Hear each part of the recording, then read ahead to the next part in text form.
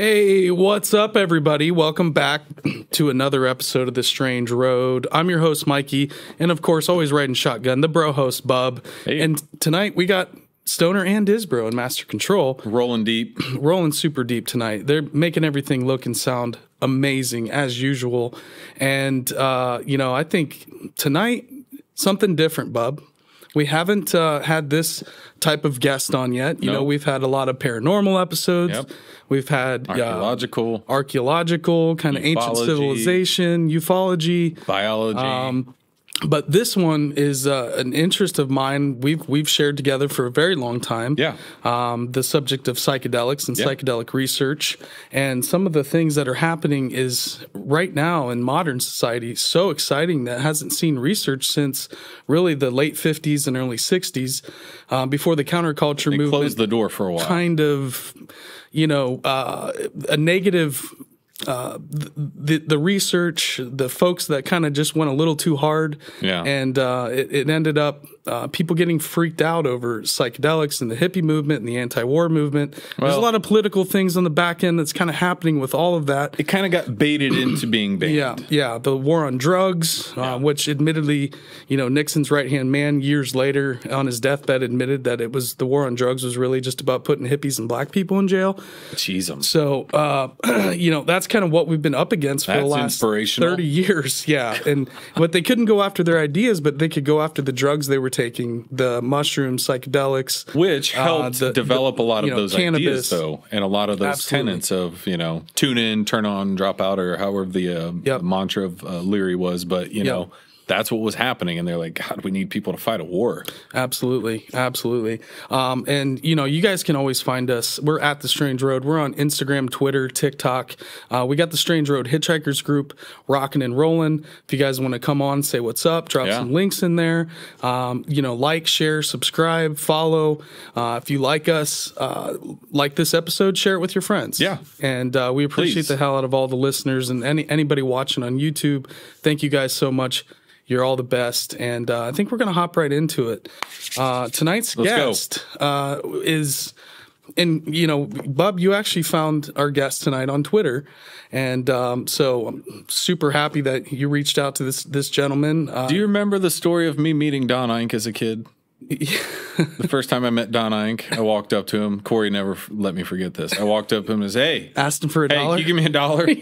And he was like, what? And I was like, I want to go play that bowling alley. And he was like, okay. I think he gave me a dollar even. And I went and played. But that's kind of how this has been procured with Zeus and other guests now Yeah. is, hey, I'm just going to go out there and, and try to track down interests. And if you feel like coming on, great. We have a great platform. We want to hear your Yep. message and hear what's going on. So, Yep, yeah. absolutely. Well, thanks for doing that. Because uh, without My further pleasure. ado, our guest Zeus Tipado, he's a neuropsychopharmacology PhD candidate at Maastricht University, which is in Holland, and he's focusing on researching the brain while under DMT inside virtual extended reality.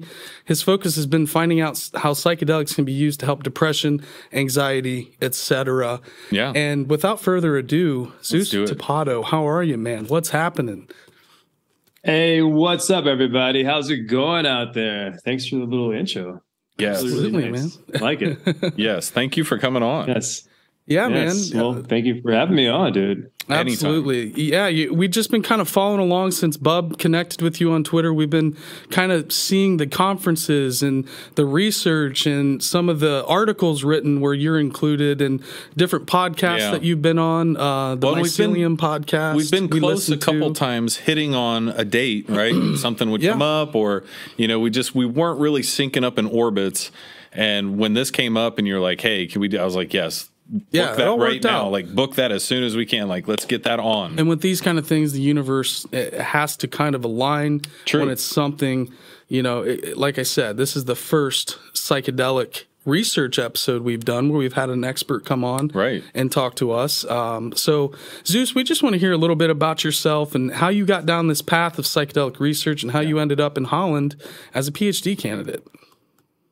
Man, how did I get down this path of psychedelic research? I mean, wow, wow. Well, where do I start, man? Do I start my childhood? Do I start in high school? Uh, okay, well, let me start a little bit back when I was a kid.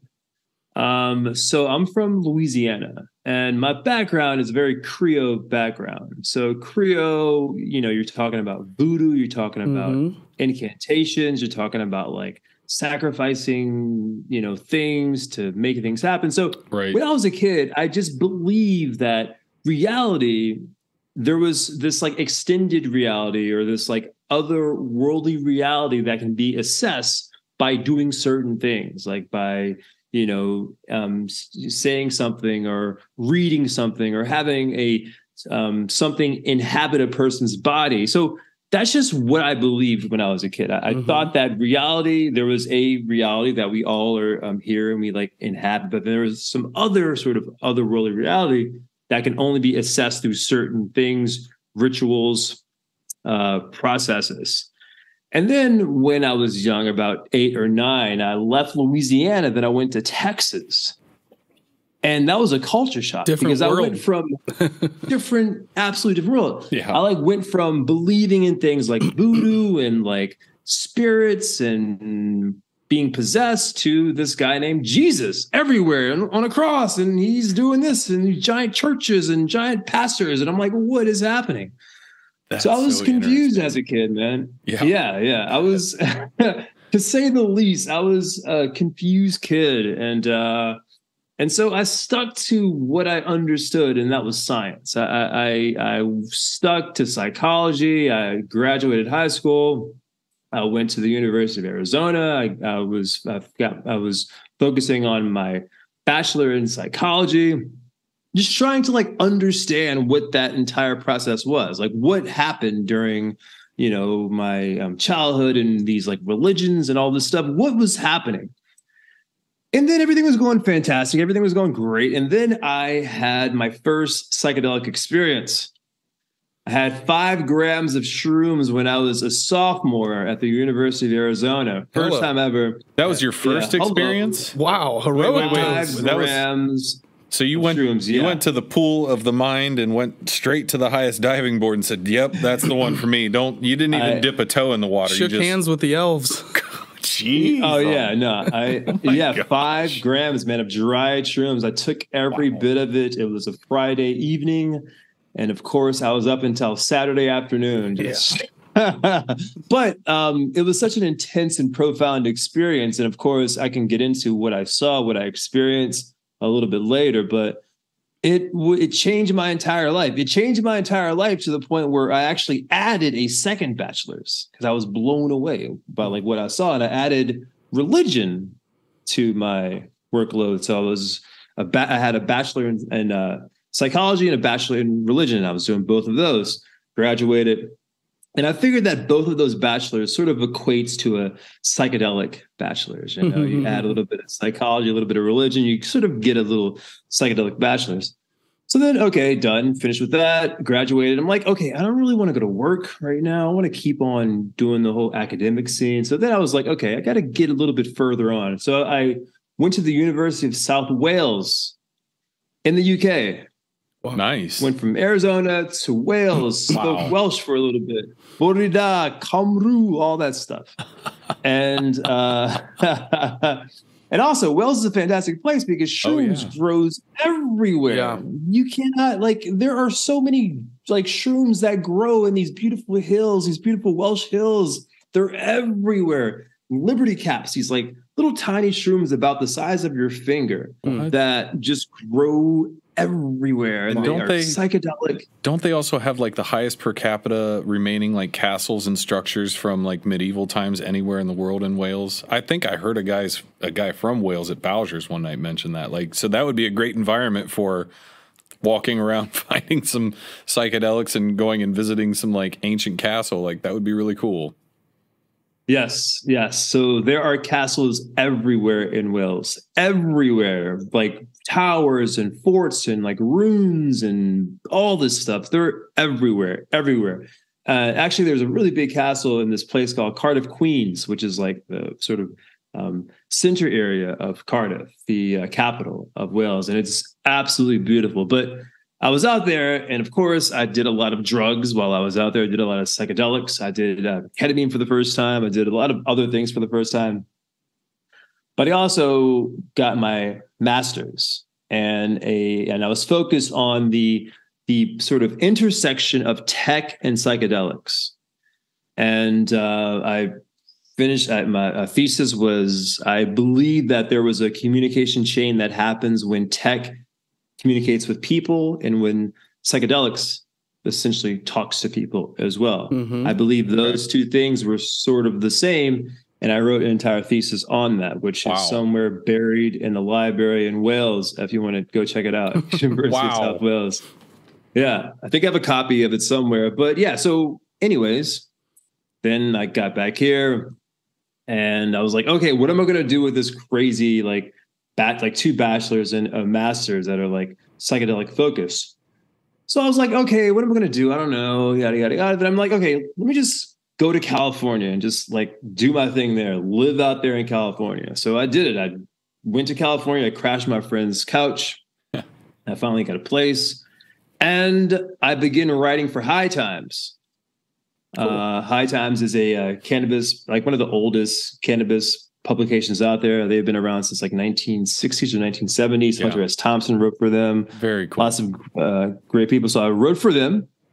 And then I started to write for other cannabis magazines. Then I wrote for psychedelic magazines. And then uh, Snoop Dogg's people contacted me. And then I'm like, okay, let's do something. Yeah. So then I co produced a show called Super High Score with Snoop Dogg and his production company. That's amazing. Uh, it's incredible. Uh, you can watch it on the internet, super high score. And that led into other things. I did stuff for Double Blind, which is a psychedelic uh, video or um, sort of a psychedelic information site. I did stuff for Psychedelics Today. And then the pandemic hit. And I'm like, okay, what am I going to do now? I can't do anything. We all can't do anything. So I got my old master's thesis out, opened it up, cracked it open, read a, read what was happening, and then I read what was happening currently with science. I'm like, oh, that was pretty close. I was, I was pretty close. I was pretty close. I was pretty close. And I was just like looking at all of these brand new papers that were being dropped on Mhm. psychedelic science, and then I was looking at my old stuff, like, oh my gosh, like I was pretty close to what is being discovered. So uh, I got in contact with Jan Ramaekers and Kim Kuypers in Holland, Maastricht University. Oh, okay. Uh, it's we we talked uh, about no, it before the show. Yeah. I said, "How do you And then- pronounce it?" And And, then he we, told for- me. we forgot to ask him. no, no. He told me, and I said, It's not- I said, Maastricht. we're not doing it. Maastricht. Is that good? it's, It's difficult. It's um yeah, Maastricht. Yeah, yes, that's close enough. It's difficult to say, dude. It's Dutch. It's weird. But uh, so I talked. I talked to them, and I proposed an idea. I'm like, hey guys, uh, let's do some research. I want to do research where I want to where I want to give people DMT, and I want to put them inside virtual reality, and I want to look at their brain. And I'm thinking to myself, like, what I'm proposing is so off the wall that they're going to be like, Zeus, like, what are you talking about? Right. How, we can't do this here. And my first Zoom call, I proposed this idea to them, and they took my idea and like expanded it, made it even crazier than what I even thought. So I was like, oh my gosh, like who are these people, right?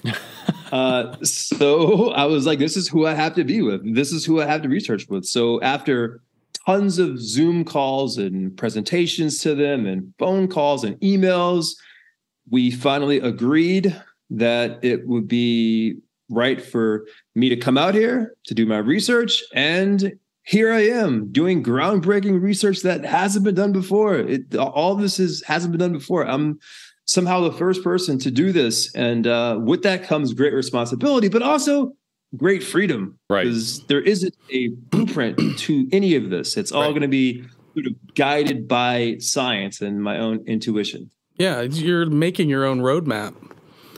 You You're- know, there's not really a, a map for you, but you're kind of blazing your own trail, which is uh, Yeah. again why I think we resonate with you. Yeah. There's, you know, some of the, you know, you have Rick Doblin and you have um, the McKennas and you have uh, all these kind of uh, Paul Stamets and, and some of these guys that we've looked into their research and list, hear, heard them talk Yeah. so much over the years, watched their documentaries, and and now we have you know guys like Zeus and some of the the next up and comers in this whole world. That's what's exciting to me is connecting with like who's the next generation that's carrying the torch like Right. Zeus, uh, like what with what you're doing, man. We respect so much of what you're doing and Mm-hmm. and just breaking down those barriers for people to understand that this isn't something to play with. I mean, my thing is lately, and Duncan Trussell said it best, is like, you know, psychedelics are great for obviously curing depression and anxiety and all these things. But what about if you just want to go to a festival and you just want to have a breakthrough experience or you want to sit with your friends and you have an open heart? Uh, Right. Is wine only for through- church communion? Yeah. So, You know, uh, that's kind of where I'm somewhere. I'm all of those things, not just the medical uh, applications for psychedelics, but also for well, growth. You can look at the marijuana industry with that as far as recreational and medical. You know, there's just differentiations between maybe greater strength needed for actual medical patients because of tolerance and you know. Uh, yeah, the medical resistance. stuff. you know, Sure. Zeus. Do you think that the medical applications is kind of what's going to break down the doors for everything else? Or be the gatekeeper. yeah, that's what I'm kind of worried about too.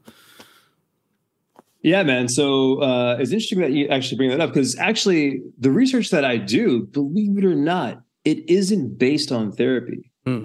It's based on perception. I'm one of the few people on this planet that is doing psychedelic research for the pure understanding of how it affects our perception. Do you Um, have I- any I- mantis shrimp in your lab? Ah, no, I mean, if we do, I wouldn't be able to tell you. How does that sound? Oh, really? yeah, yeah, no. So that that's yeah. I mean, yeah, Just because of perception So- in their eye being so absolutely difficult to understand, right? Like they still don't really fully understand how their eyes work and what they're perceiving. But you saying that you have this program carved out or this pathway basically just on perception, it's not about medical treatment or therapy. It's just purely on what is it doing to What are us we perceptively What are when we we, take these things. yeah, man. So that's the thing, man. Um, with the current research lines of psychedelic science, it's so heavily based on therapy, like how these substances can help with anxiety, depression, and that's all super important because a lot of people deal with that stuff, Sure. obviously, you know. And if there's a if there's a um, substance that could actually help with that, then that's fantastic. We should totally research that. But I that's not my interest. Uh, Mhm. my interest is why on let's say a Thursday evening you could take a tab of paper and then within an you know um, half hour have your entire reality redefined, have perceptual things just completely altered. That right there, we still don't have a convincing explanation as to why that happens. I mean, we have Mhm. some fantastic theories, which are really good theories, but we do not have one concrete explanation. So I think, so really, and if you ask any person out there, not any person, but like most people, they'll say, the reason why I, you know, took five grams of shrooms or two hits of LSD or whatever is because I wanted to trip. That's the reason why I wanted to have a very, you know, interesting experience. I don't really find people that have that took their first dose of psychedelics in order to treat their PTSD or, Right. or, or depression. Although some people, you know, that that doesn't apply to everybody, but the vast majority of people they take, you know, whatever substance to trip because the trip is so interesting. It's so important and so unexplained. And the thing, let's get back to what you said about this whole this sort of idea of therapeutics. The wild thing that I've been seeing at all these conferences that I go to across the whole planet, France, Germany, Amsterdam, wherever, is that there are companies out there that are actually trying to take the trip out of these substances. I know. I read of- that recently. Yeah. oh my Yeah. gosh.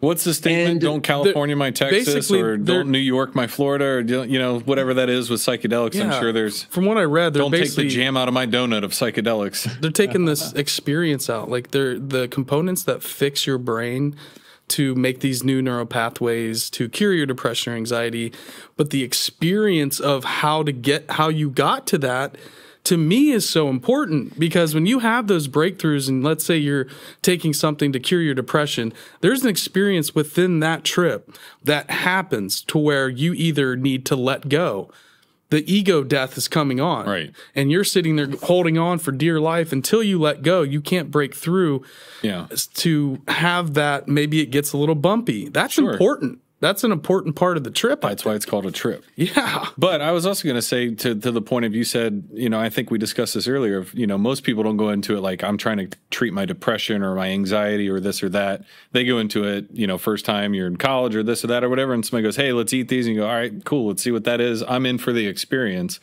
And what I think is the underpinning, maybe beneath all of that, is still like the anxieties or stresses that you have that you're not aware of that when you do go through that just for the experience you are still rectifying so many things. Yep.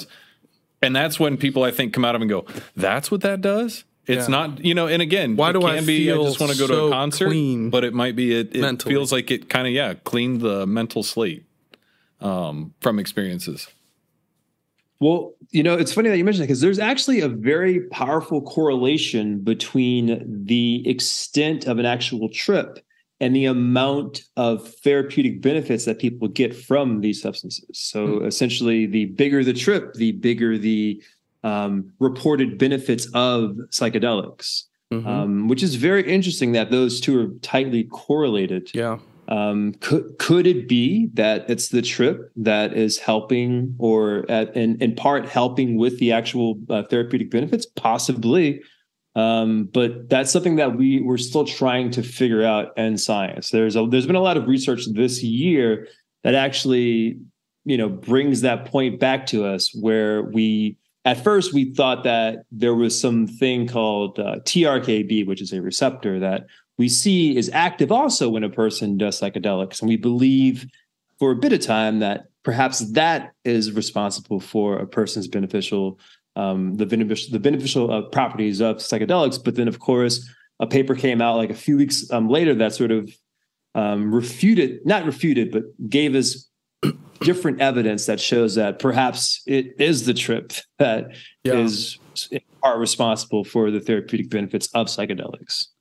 So Wow. why are these companies or pharmaceuticals or whoever's trying to develop this? Is it because what, what's money. the point of taking the psychedelic trip out of it? Easier manage. So the theory is that if you can take so okay, the theory with not the theory, but the the belief of people in the FDA is that the idea of a trip is a sort of counterintuitive, maladaptive side effect of a drug. Um, and God. that's yeah, I know that's Taken from someone what that's they believe. never tripped, clearly. Coffee's too Yeah. hot. yeah, yeah, yeah. So, so, so apparently, um, these companies that have been forming believe that if they could, if they could take the trip out of psychedelics, that it would get past the Yeah. FDA quicker, and they could go to rush through phase one, phase two, phase three, and then of course get it, get whatever First to market. psychedelic X thing, yeah, first to market, which is super important um, to make a lot of cash. But Mhm. the thing about these companies, and there's tons of companies that are forming, trying to build their own um, analogs of psych of you know existing psychedelics. The problem with this sort of pursuit is that guess what? It takes a bunch of cash to push forth a drug into the country. It's not an easy process. It Mm. takes a lot of money. And most companies, which we've seen in psychedelics, they can't really get past the first phase. They perhaps they can't even get to the first phase because it takes so much cash, so much research to put forth a drug. So lots of companies that have already been formed have already collapsed. And there's only one company, only one company that has successfully done that. Basically built an entire psychedelic from phase one to you know your um, local pharmaceutical uh, whatever and it's johnson and johnson Mhm. I mean, johnson and johnson has johnson and johnson cash like, yeah, that isn't a problem you know yeah. and they uh they actually presented uh s-ketamine which is a um enantiomer of uh, ketamine to the market and they it's called uh Spravato, which is like a little spray that you sort of spray in your mouth and you get a hit of ketamine. They have that. They did that. It's you can get it right now if you have the prescription. Wow. Yeah. Wow. I know several people that are using ketamine for depression, and it, it, it's literally curing them. I think uh, Musk takes ketamine. Yeah, a lot of people. What else talked about it? I mean, I just I don't know a lot about ketamine at all. I've just I've always heard the the the branded terms for it and what have you, but never a lot of misnomers. never really yeah never And- really and met it's, anybody. It's also becoming one of the most uh, abused drugs in the festival scene. Yeah, I don't know what it even does. You know, we work uh, Lost Lands Festival, which is a headbanger EDM, EDM run by Excision uh, out here in Ohio, and uh, I mean, just the the ketamine use is unbelievable. It's not like when we were going to shows back in our twenties; like people weren't just blasting ketamine in the middle of a concert. I was shocked. I've like, never even seen it. no, and it's it's pretty ple- prevalent in in some scenes, which is is like, dude, why would you want to be in that state of mind right now, and uh, like with fifty thousand people everywhere? I don't know. Well, what is the So- what's going on when you take it, Zeus? What Yeah, so I I was going to bring up ketamine. It's it's really interesting. It's it's it's a it's a very sort of interesting psychedelic because all other psychedelics they affect serotonin receptors. They're ser they're serotonin um, activators, Yeah. agonists. They essentially activate serotonin receptors, uh, and that's LSD, DMT, MDMA. They all work with serotonin, but ketamine is different. It's an NMDA antagonist. So NMDA are receptors, and it, it the sort of um, activation happens with deactivation. So it actually blocks receptors to get that psychedelic effect. It, it blocks NMDA receptors. So that's the only psychedelic that we have that's an NMDA antagonist. But there is another one that works just as well as ketamine, and it's called PCP. Mm, angel dust. really? PC, yeah, angel dust is basically ketamine. It's it's essentially ketamine. It- it's just a sort of it's it's also an NMDA antagonist. It appears to have the same therapeutic benefits of ketamine. It functionally it, it appears that it like works the same as ketamine. But the problem with PCP is that it's PCP. It has a very cultural baggage Yeah. of people, you know, um, saying things like this is like football on PCP. You know, it, it's just it's so instilled in our um, Sure. cultural uh, dogma that that it's going to be difficult for PCP to sort of come to the forefront as a potentially therapeutic substance. But Do we need to go like On UFO, paper- UAP, PCP, P? PCP. You gotta re- it needs rebranded. just It needs rebranded. Rebrand it a little bit. Well, hmm. and- and even for me, I'm open minded when it comes to all these things, but I hear PCP and I think of naked guy in an emergency room, screaming, freaking out. You know, that's exactly what comes to my mind. I'm just being honest. Jeez. It- um, and like I said, if you're telling me it's got therapeutic benefits, I can't wipe that from my brain. I've I- seen so many videos of people losing. I mean, I can you know, think of mushrooms you and ever think seen, of uh, Father John Misty going down to Big Sur and getting naked and up in a tree and giving away all of his possessions and quitting the Fleet Foxes and inventing Father John Misty. Yeah. That's how he became that artist. Like he was Yeah. the drummer for the Fleet Foxes. He was didn't know what to do with his life. He was kind of despondent about his position. Goes down to Big Sur, eats a heavy dose, maybe a heroic dose. Tells his buddy, "I'm going to name myself Father John Misty," and his friend was like, "Please don't do that." and he did it anyways. You know, just he keeps at it. But yeah, like sometimes it it appears very like unsavory. I think is what you're saying. Yeah. like, it's hard to wipe that mental image of the gentleman in the ER bay with no clothes on. Of I don't know where you got that image, but I've seen videos. I mean, uh, there's a video called uh, that Steve-O released back in the early 2000s when Steve-O Okay. was still partying a lot. Yeah. and it's it's an underground VHS tape that uh, you know they used to do, do those skateboard videos, Right. Like Bam and all those guys. And that company made this. It, it's called PCP Saved My Life, and it might be Oh. on the internet, but it's Steve-O Interesting.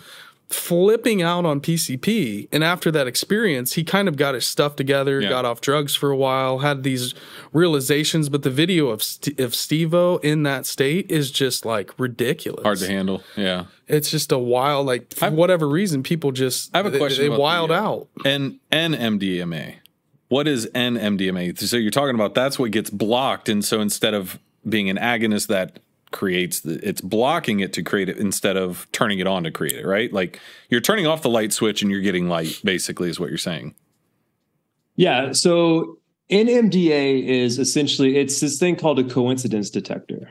Um, it sounds pretty wild, but that's what they call it in science. And uh, a coincidence detector receptor is so with almost all receptors, you have they're all sort of um, chemically um, gated receptors. So Mhm. a, uh chemical comes in, serotonin hits it, opens it up, boom. That's how most receptors Right. operate. You know, Right. um, and then of course it goes deeper with uh, calcium and all the but I'm not gonna- but so an NMDA uh, receptor is a coincidence detector, which basically entails that it if let's say the correct chemical compound arrived at the actual receptor itself, it still wouldn't actually open up. It opens up with a combination of chemicals and electricity. So the What? electricity has to, yeah, the the uh, voltage has to be correct, and the chemical compound has to be correct for these for this NMDA receptor to open up.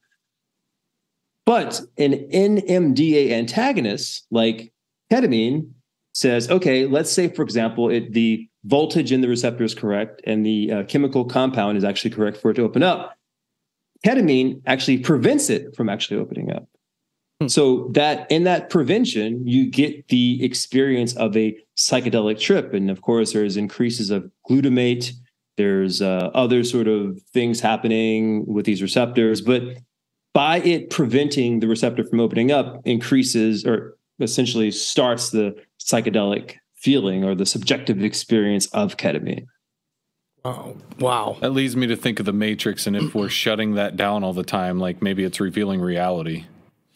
Like right now, it's So- actually you got, you got the hallucination is the reality we're seeing from those receptors being open at the moment, and when we close them, you see what's not being generated. I don't know. I Maybe think that's a stretch, uh, but There's a great documentary called Neurons to Nirvana. If anybody's ever seen that, uh, that's Dennis McKenna's in it. Hmm. Uh, all the big. Re- this is you know probably like six seven years ago that came out. But Dennis McKenna talks about the frontal lobe, uh, the cortex, and how essentially they found out that it literally just shuts down when you take a big dose of mushrooms or DMT, and it actually allow. That's what and Zeus, you could probably explain this better, but from what I understand, it, it shuts off your perception, your brain's perception of reality.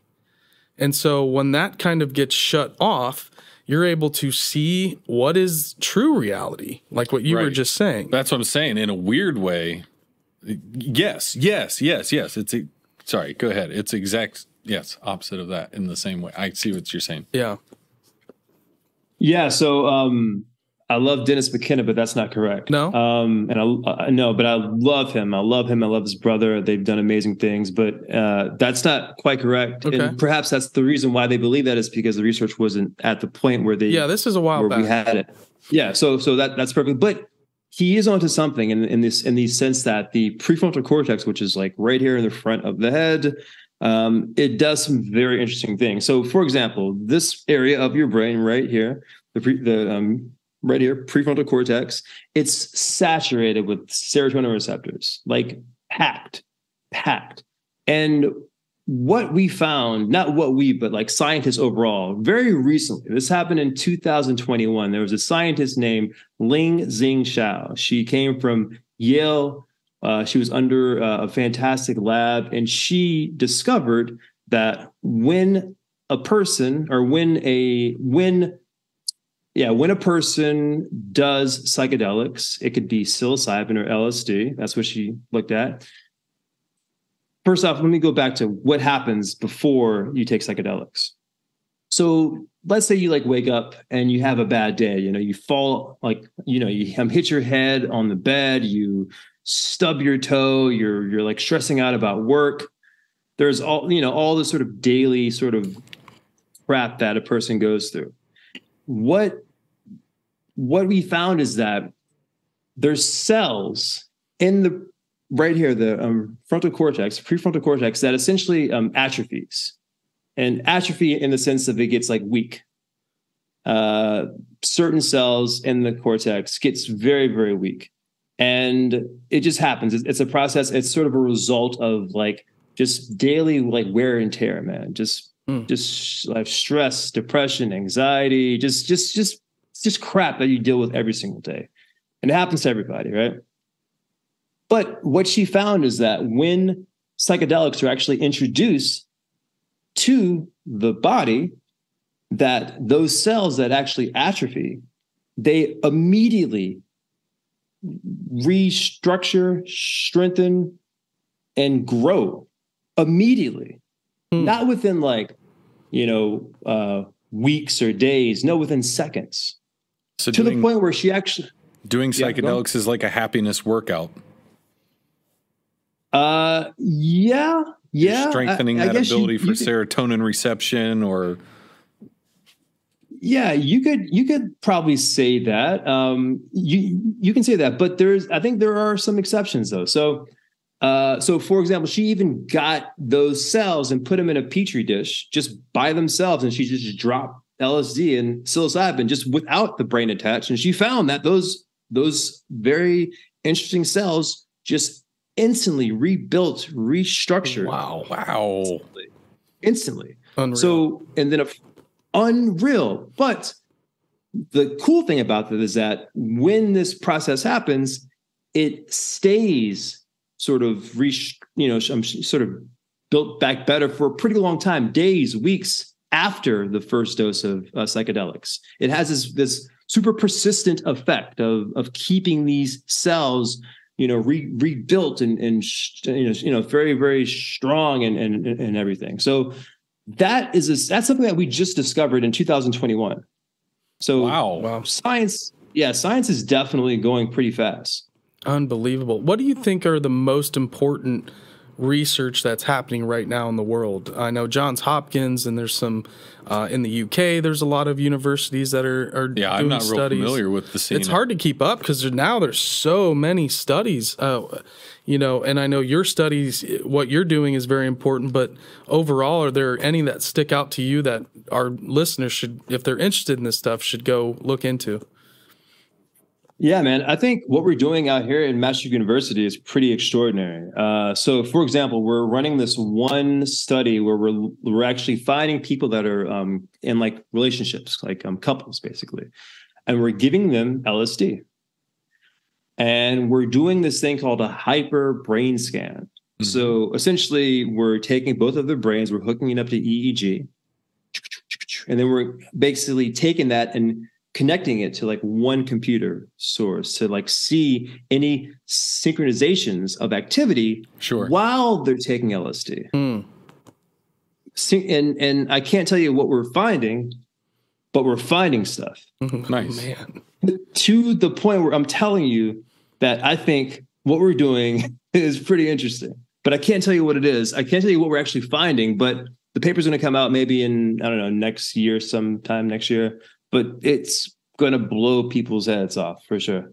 Stay tuned, everybody. Um, yeah. Well, I hate to say it, Zeus, but you might have a. Uh, unless you block me on Twitter, I'm gonna keep talking to you probably for a long time. Like, man, I'm gonna need to know what's going on. And my thing is, is one thing I want to get better as connecting with folks like you is, is I always kind of hear about the studies after it's over.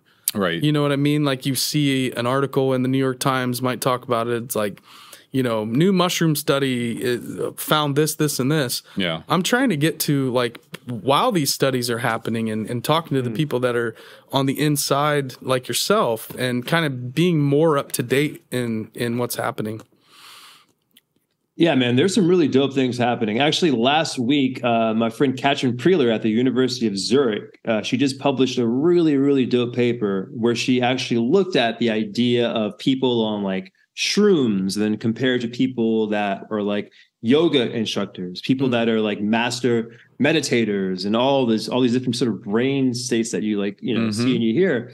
And she discovered that while you know things like yoga meditation is very important the brain state of psychedelics is incomparable like the activity is incomparable compared to like meditation like they aren't the same you can't get to the same places what um, lsd takes you compared to what like meditation takes you Can I ask you something to that to follow up? Ram Dass in a book I read many years ago. I think uh, the only dancer is his his take on that was he was in India, met his guru. The gentleman kept saying, "Give me some of that medicine you brought." And Nareem. He's like, "What?" And so he's giving him hits of acid, and he ends up giving this, uh, you know, guru like three or four hits of acid, and Ram Dass is just like, "Holy cow! Like this guy should be on the floor incapacitated." And the the guy was basically like, "Look, this is how I always am. Like this isn't doing anything to me."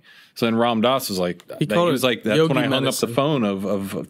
Uh, psychedelics like i got the message and i hung up the phone and it's interesting to hear you say that because that gentleman was obviously doing a lot of work with Leary back in his time when they were teaching together and started getting into the psychedelic research they were doing. So, how do you explain him having that perspective and then going into more of a meditative pursuit of it? Do you would you say you truly believe he never had another experience like he did with psychedelics after he went to meditation and left the psychedelics off the table? Yeah, man. Ram Dass has a very interesting journal, or um, um, not a journal, journey. Yeah. Um, so, uh, yeah, he was a professor at Harvard, and then he left. He left Harvard, and, and he became Ram Dass after traveling through India and all this stuff. So, I don't know, man. I, I have his book right here in my bookshelf. Be here, uh, whatever it's called. Hmm. But um, Mm-hmm. be here now. Yeah, man. I I don't know how I feel about Ram Dass. I, I think um I think I don't know, man. It's it's such a touchy subject. Well, no, and I have no real feeling on it one way or the other. I'm just trying to get to. I can understand because Yeah. after reading the the paper on the priests, given the psilocybin, and the one gentleman going, obviously, I've never had another experience like that, and I could never really contextualize like what I felt as the spirit as a pastor or priest, but that one instance was night and day different. And that's why I think did Ram Dass, when he got into the meditative portion, he had enough to carry over from his experiences in psychedelics to almost blend the two together somehow. Well, he always admits that psychedelics were a huge part of his path. But you know, that's what I'm saying though. I don't. I, I kind of agree with Zeus on this, and the research is showing it from what he's saying that no matter how much you meditate or this or that, like you're not going to get there the same way with taking a five gram dose of psilocybin or two tabs of LSD of some high strength. You know what I mean? Like that's what's really altering your state. You can try to be peppy, but that cup of coffee with the caffeine will give you that pep. But you could thing. use yoga and meditation to help integrate your experience on a big trip. I get that. I get that. So I, I, I don't know. I think it goes hand in hand. I'm just taking the. I'm just taking the experiences of saying I can get to the same reality status no, I know what you're saying. meditating or yoga as I can with this, and I don't think you can. Uh, you can prepare yourself for that trip, but Yeah, I mean, unless if you take DMT, it's you want to get to the moon, you need a rocket. yeah, exactly. You can't wish it. Yeah. I don't think yoga can get you there. Kundalini yoga, according Kundalini. to according That's to uh. VJ, Yeah. you know, VJ says that you can get into some pretty Yeah. high level spaces doing that. But Zeus, how did you? And it is with the perception portion of the study, I assume, but VR and Yeah, DMT. let's- let's talk like, about that how does bit. that go? Yeah, man. So um, VR is interesting, man. It's it's really it's it's so it's so it's so interesting in the sense that for a very long time, VR was just sort of stuck. It was sort of Yep. stagnated, and and, Mhm. and the tech wasn't really advancing. This is I'm talking about back in the day when you had these films that depicted like a cyberpunk future with VR, and you had these giant headsets on and all this stuff. But we really didn't get anywhere with VR because we were using this sort of the same flawed tech. And then we, then this one kid, Lucky Palmer, uh, he was like 19 years old and he invented uh, the um, first uh, Oculus Rift in his like garage. 19 years old, this guy from San Diego, and he essentially redefined the entire VR field. That's incredible. And yeah, of course, he sold his company to uh, Facebook for like I think somewhere like a billion plus dollars, maybe. And Jeez, um, and I was just chilling. So so since so thanks to him, uh, we have a VR field again, and we can do some fantastic things. So what am I doing with VR and DMT? So the thing about VR is that like the biggest problem with VR is that almost every single headset you put it on and then you have this sort of thing in the back where you like strap it on and you sort of tighten it up and then you have it on your head, right? That's how most VR headsets work. The problem with that is that if you're trying to research the brain, specifically the visual cortex, which is actually in the back of the head, mm-hmm. you can't really do that because there's a giant thing going around the visual cortex. So really I had to we we planned on building this sort of headset that was strapped on and but then we had to wait because because we tried building stuff and it didn't really work out. So then we had to wait for this uh, company called HTC to come out with this thing called the HTC XR Elite headset.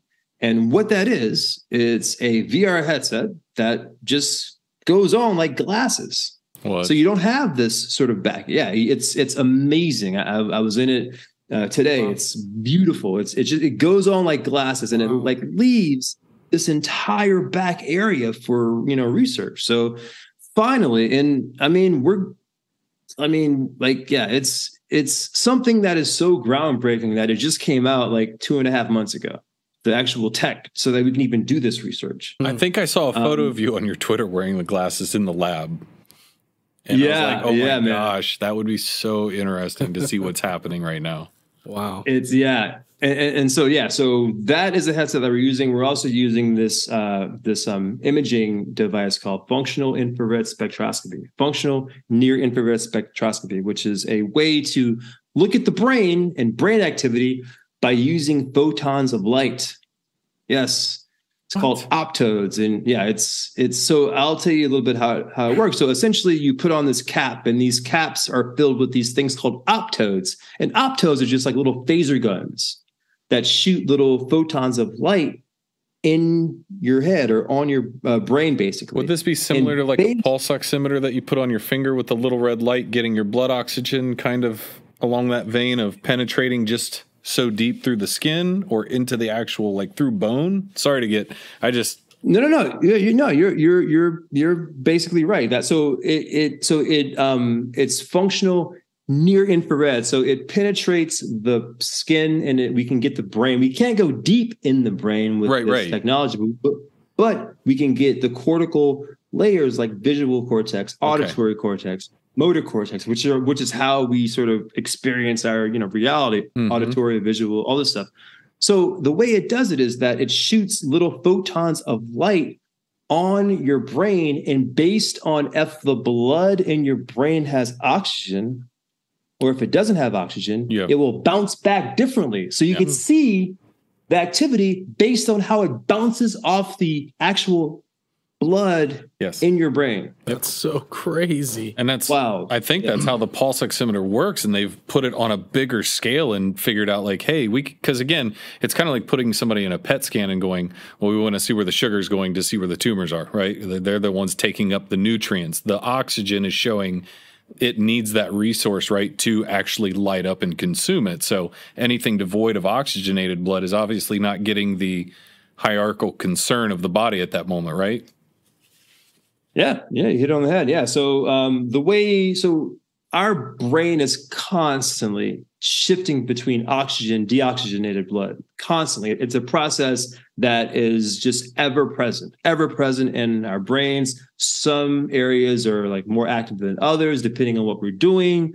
Uh, but while we're on psychedelics, we see that these sort of areas of the brain that have been sort of segregated, like, for example, the prefrontal cortex and the visual cortex or the uh, DMN and all these different areas before they're sort of you know in their own little areas the activity is just sort of in their own little areas. But after we take you know any sort of substance like lsd or uh, psilocybin these areas have less sort of less segregation less structure and they sort of blend together. They mix together the the actual activity mixed together mixes together. So now all of this sort of energy that was that sort of resided to keep these areas integral to keep these areas focused and sort of structured that energy sort of disperses out in the brain. Hmm. and it allows these areas to talk to other areas it really doesn't talk to. And that is basically when you're tripping. When that happens you're definitely tripping. Wow but i've heard that as well and a lot of times is is why people go, oh, well, that how did you do this? Or I've never painted before or I did something like, you know, just opening up those areas. And it, again, I draw analogies. That's how my brain works. It makes me think of the Sphinx and Robert Schoch, right? He's not an archaeologist, but he's a geologist. And it's a blending of concerns to where he looks at the situation different. He's looking at the erosion of the Sphinx, not the archaeological part of it, right? So in this instance, you have your brain going, hey, uh, prefrontal cortex and you know motor back here or whatever you know doesn't normally talk you guys get together today and hash it out and share ideas and then you get people going i could you know see music or i could hear colors or whatever kind of off the wall thing that it usually ties back to the blending of those senses correct yeah, so uh, synesthesia is mm-hmm. what you're uh, referring to, and that's the that's the sort of you know, um, concept of you can like um, hear taste, or you could taste sound, or you could feel uh, vision, or something. Where all of these sensory modalities get a little bit mixed up, and really, I mean, it happens quite often when you do psychedelics. Some people really don't like recognize it, but for example, the next time you do LSD or shrooms, and you're listening to like I don't know Led Zeppelin or something, or whatever you want to listen to, just close your eyes. Just close your eyes. And if you see anything visual that is in sync with the actual sound, oh god, my friend, you're having synesthesia. Yeah, yeah.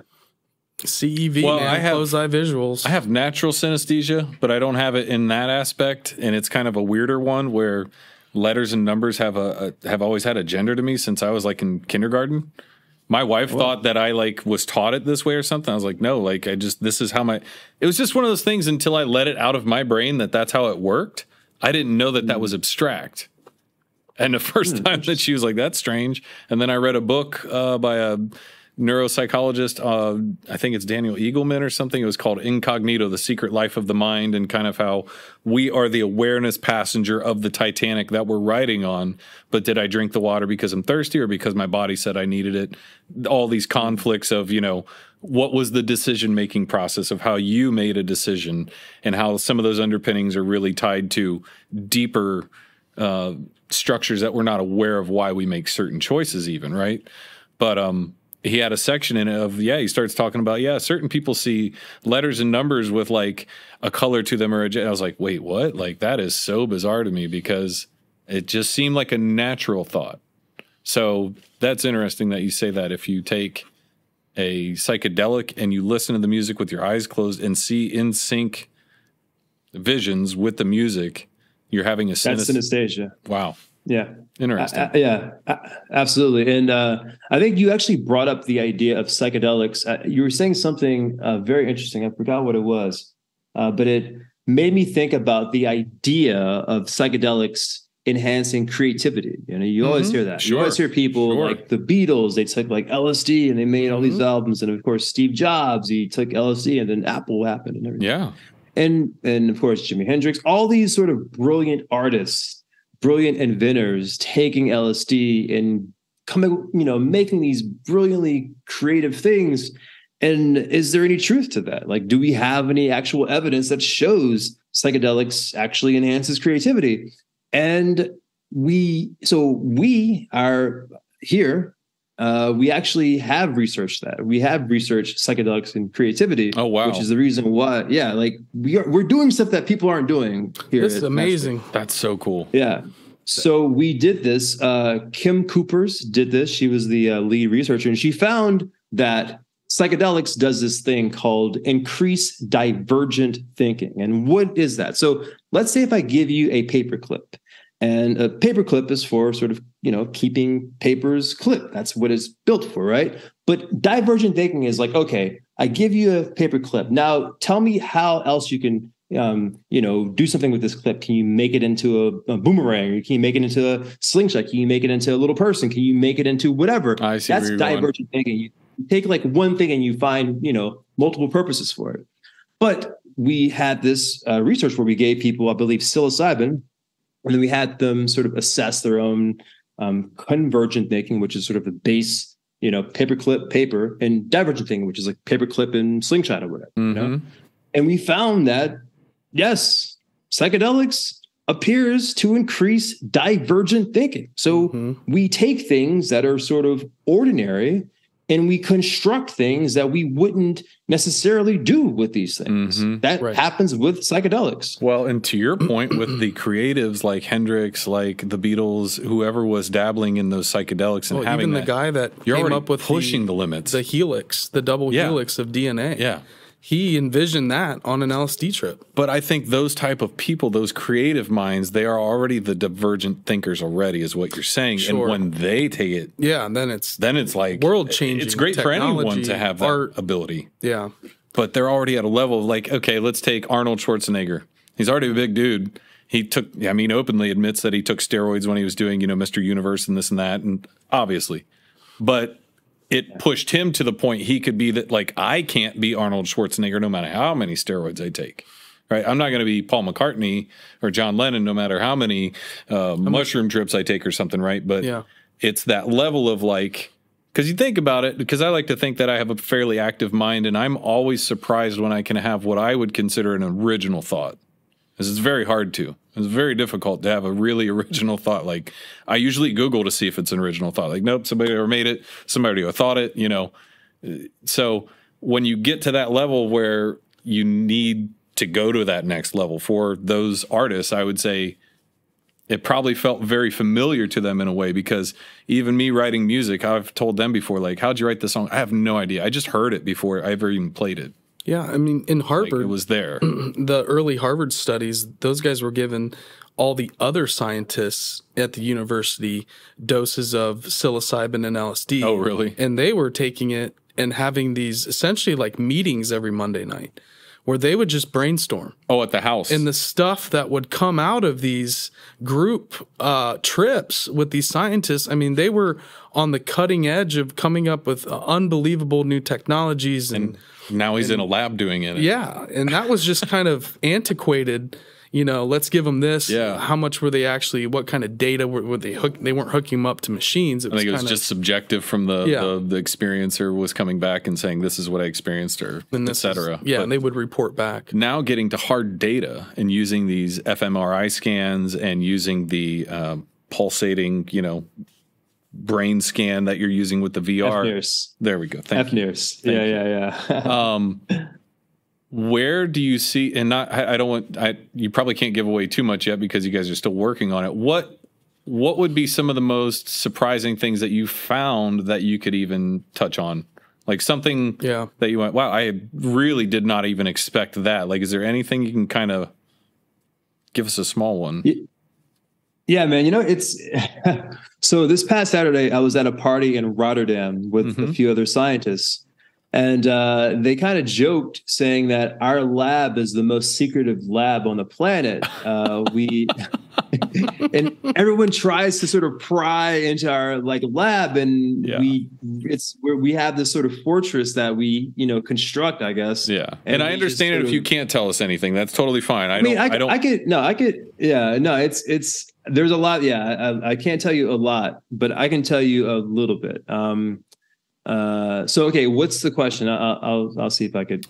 So see going if I could say to say going into it, you've obviously done some research. You've had some experiences. You have an idea of what maybe you think are your your pre prepositions and what do you think is going to happen. And I'm saying more of say from even an experiencer of having a more profound experience than you've ever heard or something like that. Yeah, um, just the- something that's an outlier. Does the VR Okay. add to it in some way? or- Yeah, yeah, yeah. Okay, so okay, yes, yes. Okay, so what I can say is that um, so okay so in the beginning of the vr experiment i, I of course had to do lots of research Mhm. just on perception on how perception works on how vr works on how you know psychedelics affects perception. And it was a journey that took me a long time very long time months.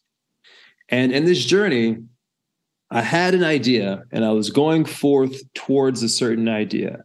And something else presented itself to me that I was shocked that someone didn't find this or didn't discover this. Hmm. I was so shocked that I actually went back for decades, decades reading papers wow. to see if anyone else discovered this, if anyone else put this together. And I believe that the, a paper that's going to be coming out very soon is going to introduce a theory to how we experience psychedelic trips that hasn't been presented before. And this is the precursor for why we're incorporating VR into psychedelic research. Oh, cool. Very cool. Awesome. I, I yeah. think I can understand what you're hitting on a little bit just because of I'll, I'll take it my my my vision on it.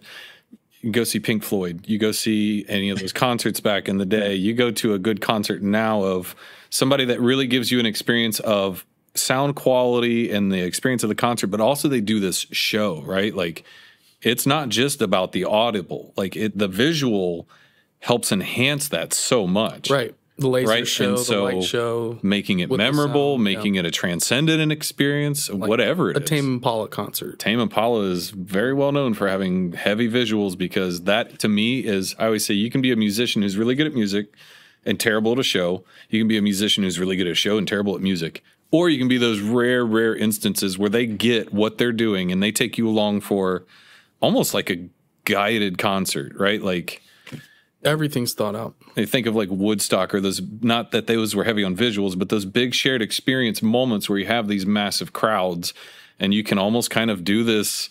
I don't know. I, I call it like hypnotism almost. Like why I went to the Gizzard concert, that was so much fun. And everybody there was just in this vibe that I can't explain. And the makeup of the crowd didn't even make sense to me of how everybody was, you know, but that's the whole thing. Everybody was yeah. on the same vibrational frequency through what point. was happening. Zeus, have you got has anybody ever considered researching psychedelics at music festivals because that's kind of our background. We shoot used to shoot a ton of concerts and shows, and even before that, we went to uh, you know tons of shows and, and and festivals over the years. Seen a lot and of music. It's the culture there of of psychedelic use, and uh, you know you have people now. You have uh, places that have. Um, you know, places where if you're having a bad trip, you can go to, which back in the day didn't exist. Yeah.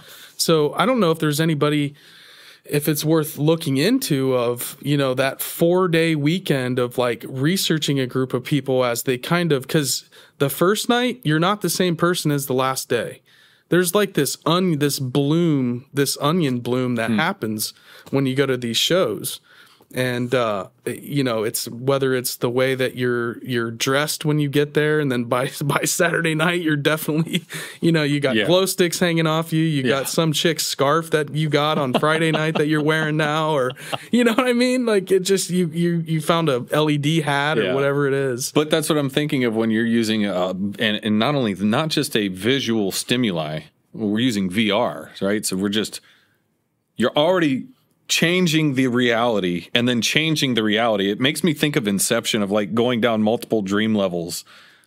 You know what I mean? Of now we're going into multiple alternate states, right? At once. Like that's so wild. Now the more I think about it, I totally understand what you're doing in a certain way. I don't fully get it, but I, I like it. Well, thank you. Yeah. So, uh, yeah. Well, okay. Well, think about it like like this. You know, um, you've done DMT. Uh, I mean, I'm not sure if you have done DMT. No, I'm saying people. No. People out there have done DMT. Right. And the thing about DMT is that when you do DMT, it's so intriguing in the sense that your eyes can be open or closed. Whoa. It doesn't really matter. Right. Your entire visual perception yep. is taken over. over. Yeah. Almost like pharmacological virtual reality. Yeah. That's really interesting. Mm-hmm. Totally makes so sense. with so with that, I guess if that's what happens when you take that, how if it doesn't matter what your optic nerve is taking in as a stimuli because that's not what's being rendered on the screen of your mind, then why wear VR goggles? What is the VR yeah. doing visually to help affect? Does it? I get again. I'm what I'm wondering is, does it have any effect? Like, there's got to be ways to measure that. Like, we're going to change the scene to this. Does it actually affect it? Because they're visually getting a stimulus, even though they're not saying back that they're seeing the vision. Yeah.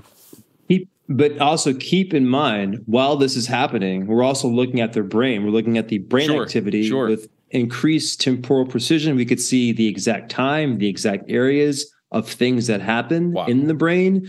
So that's yeah. And this I is can't I can't No, that Yeah. that's that's great. That uh, and the other question would be: I now think I understand why the administration is the way it is, right? Of the uh, DMT itself. If you give it in a typical fashion, it's going to be an experience you can't really capture lightning in a bottle in that 15, 20 minute window. So it's like, we're going to need this for like a four hour study or a three hour window, or we need this much recorded data. So the administration, because even when I, I don't know if it was Strassman or Doblin who was doing it out west when he was doing slow drip DMT administration, That's recent. was just blowing my mind. But with this, it makes a lot of sense of what you're trying to capture too. In I hate to say it, but in data, you got to get that data to make the correlations and to find out what's going on. Yeah. So uh, what you just said, uh, there, there's a fantastic scientist, uh, Chris Timmermann from Imperial College London, and he's focused on the idea of extended state DMT trips. Yeah, that's Mhm. what we're talking. And yeah, and what that is is a person they take DMT and then they sort of have this, you know, quote unquote drip that extends the state of DMT. And uh, what they found is that in order for a person to have an actual extended state DMT experience, you have to have this thing called a bolus uh, injection of DMT or a bolus dose of DMT. Now, what is a bolus dose? It means that Yeah. in the beginning, you have to take a bunch of it, Yeah. a lot of it, like a huge hit. And then if that hit is big enough, then you can extend it with a little Yeah. bit of DMT. But if that hit isn't big enough, then it's just going to fade away and you won't be able to extend that state of DMT. hmm So is that like a Makes- weight based calculation? I would assume of mics to kilogram or something. Of hey, you come in and you weigh hundred, you know, you're going to get this many micrograms or milligrams or grams of whatever. I don't know how you're dosing out the DMT in, in that fashion, but is that accurate? It's a Yeah, weight so- based measure, or is it everybody gets a standard? Here's your Yeah, so there's there's there's this fantastic scientist Matthias Liechti at the University of Basel, and he actually researched this. He researched if, in fact, we have to do a weight based uh, dosage Sure. or like a um, female, uh, sure. you know, and, and and he discovered that in actuality, weight really doesn't make a difference when it comes to Okay. a psychedelic trip, which is pretty interesting. Like, and and and if it did, it's very, very, very slight, almost um, statistically insignificant when it comes to weight. okay. Uh, but he did, which is interesting. But he did find that there's a small, small, small, small difference between the um, administration of psychedelics between a man and a woman. Just a very, very small amount, but not Okay. that. in in whose favor, whose negative, or whose benefit or whose Um, detriment? I guess would you say who needs to take to more take- to get to the point? you you would require less psychedelics for women to act to have a sort of the same subjective experience as a guy. Okay, Okay. So, it's interesting. Yeah. Did not know that. but but but but not by a lot. Like it's it's not that important. it's pretty insignificant that it's not like Yeah. you have to you know they wouldn't be like oh here's your five grams and here's your four point nine nine nine nine nine nine grams It's so insignificant that we don't do sort of any sort of different comparison when it comes Gotcha. to uh, male or female. They all get the same. well and that's also kind of some interesting work just there right like most drugs weren't they basically tested on men back in the day and here's your heart medication women and it's only been tried on men we didn't do a dosage Yeah. calc. We didn't do a weight base. We didn't check all the hormones or how they that think that's how they used to do a lot of pharmacology studies. It was like well we Oh just my tested you know the average 35 year old male and he did fine so everybody should be good. Dude uh, dude it was the worst man. Pharmacology in like the 50s and the 60s it was even the 70s it was so it was so centered around the idea that women are chemically imbalanced therefore in order for them to be quote unquote balanced they have to take things like benzos or all Right. these different sort of uh, Right. drugs Yeah. and you can actually find um, ads from the 60s where it's like you know wife is acting up we'll give her some benzos this will uh, calm her down good and lord it's, it's it's yeah it's so it's pretty wild man almost all pharmacology from that time was to sort of feed this sort of you know very dumb and incorrect idea that women are somehow chemically imbalanced. Of course, that's all BS. Right. It is not correct at all. Right. People need to realize that that's just BS. But pharmacology has its very weird sort of past and weird history, and Yeah. and uh, hopefully we can Yeah. get that fixed. I mean, Ritalin was originally invented for like pet pills for housewives in the 50s or something like that. Oh, and yeah. it was repackaged as ADHD medication. Vacuuming the house very, uh, Yeah, very expediently, and you know, keeping everything nice and orderly. man. Um, So we've come a long way, man. And and really, Zeus, the last three, four years, I feel like the research in the last 30 years, we've gotten more information in the last three or four than the previous 30. Is that true? Man, you're absolutely right, man. So uh, I would say that like this, there's a guy named Robin Carhart Harris. He was a professor at Imperial College of London, and he um, he like recently moved to the University of California, San Francisco.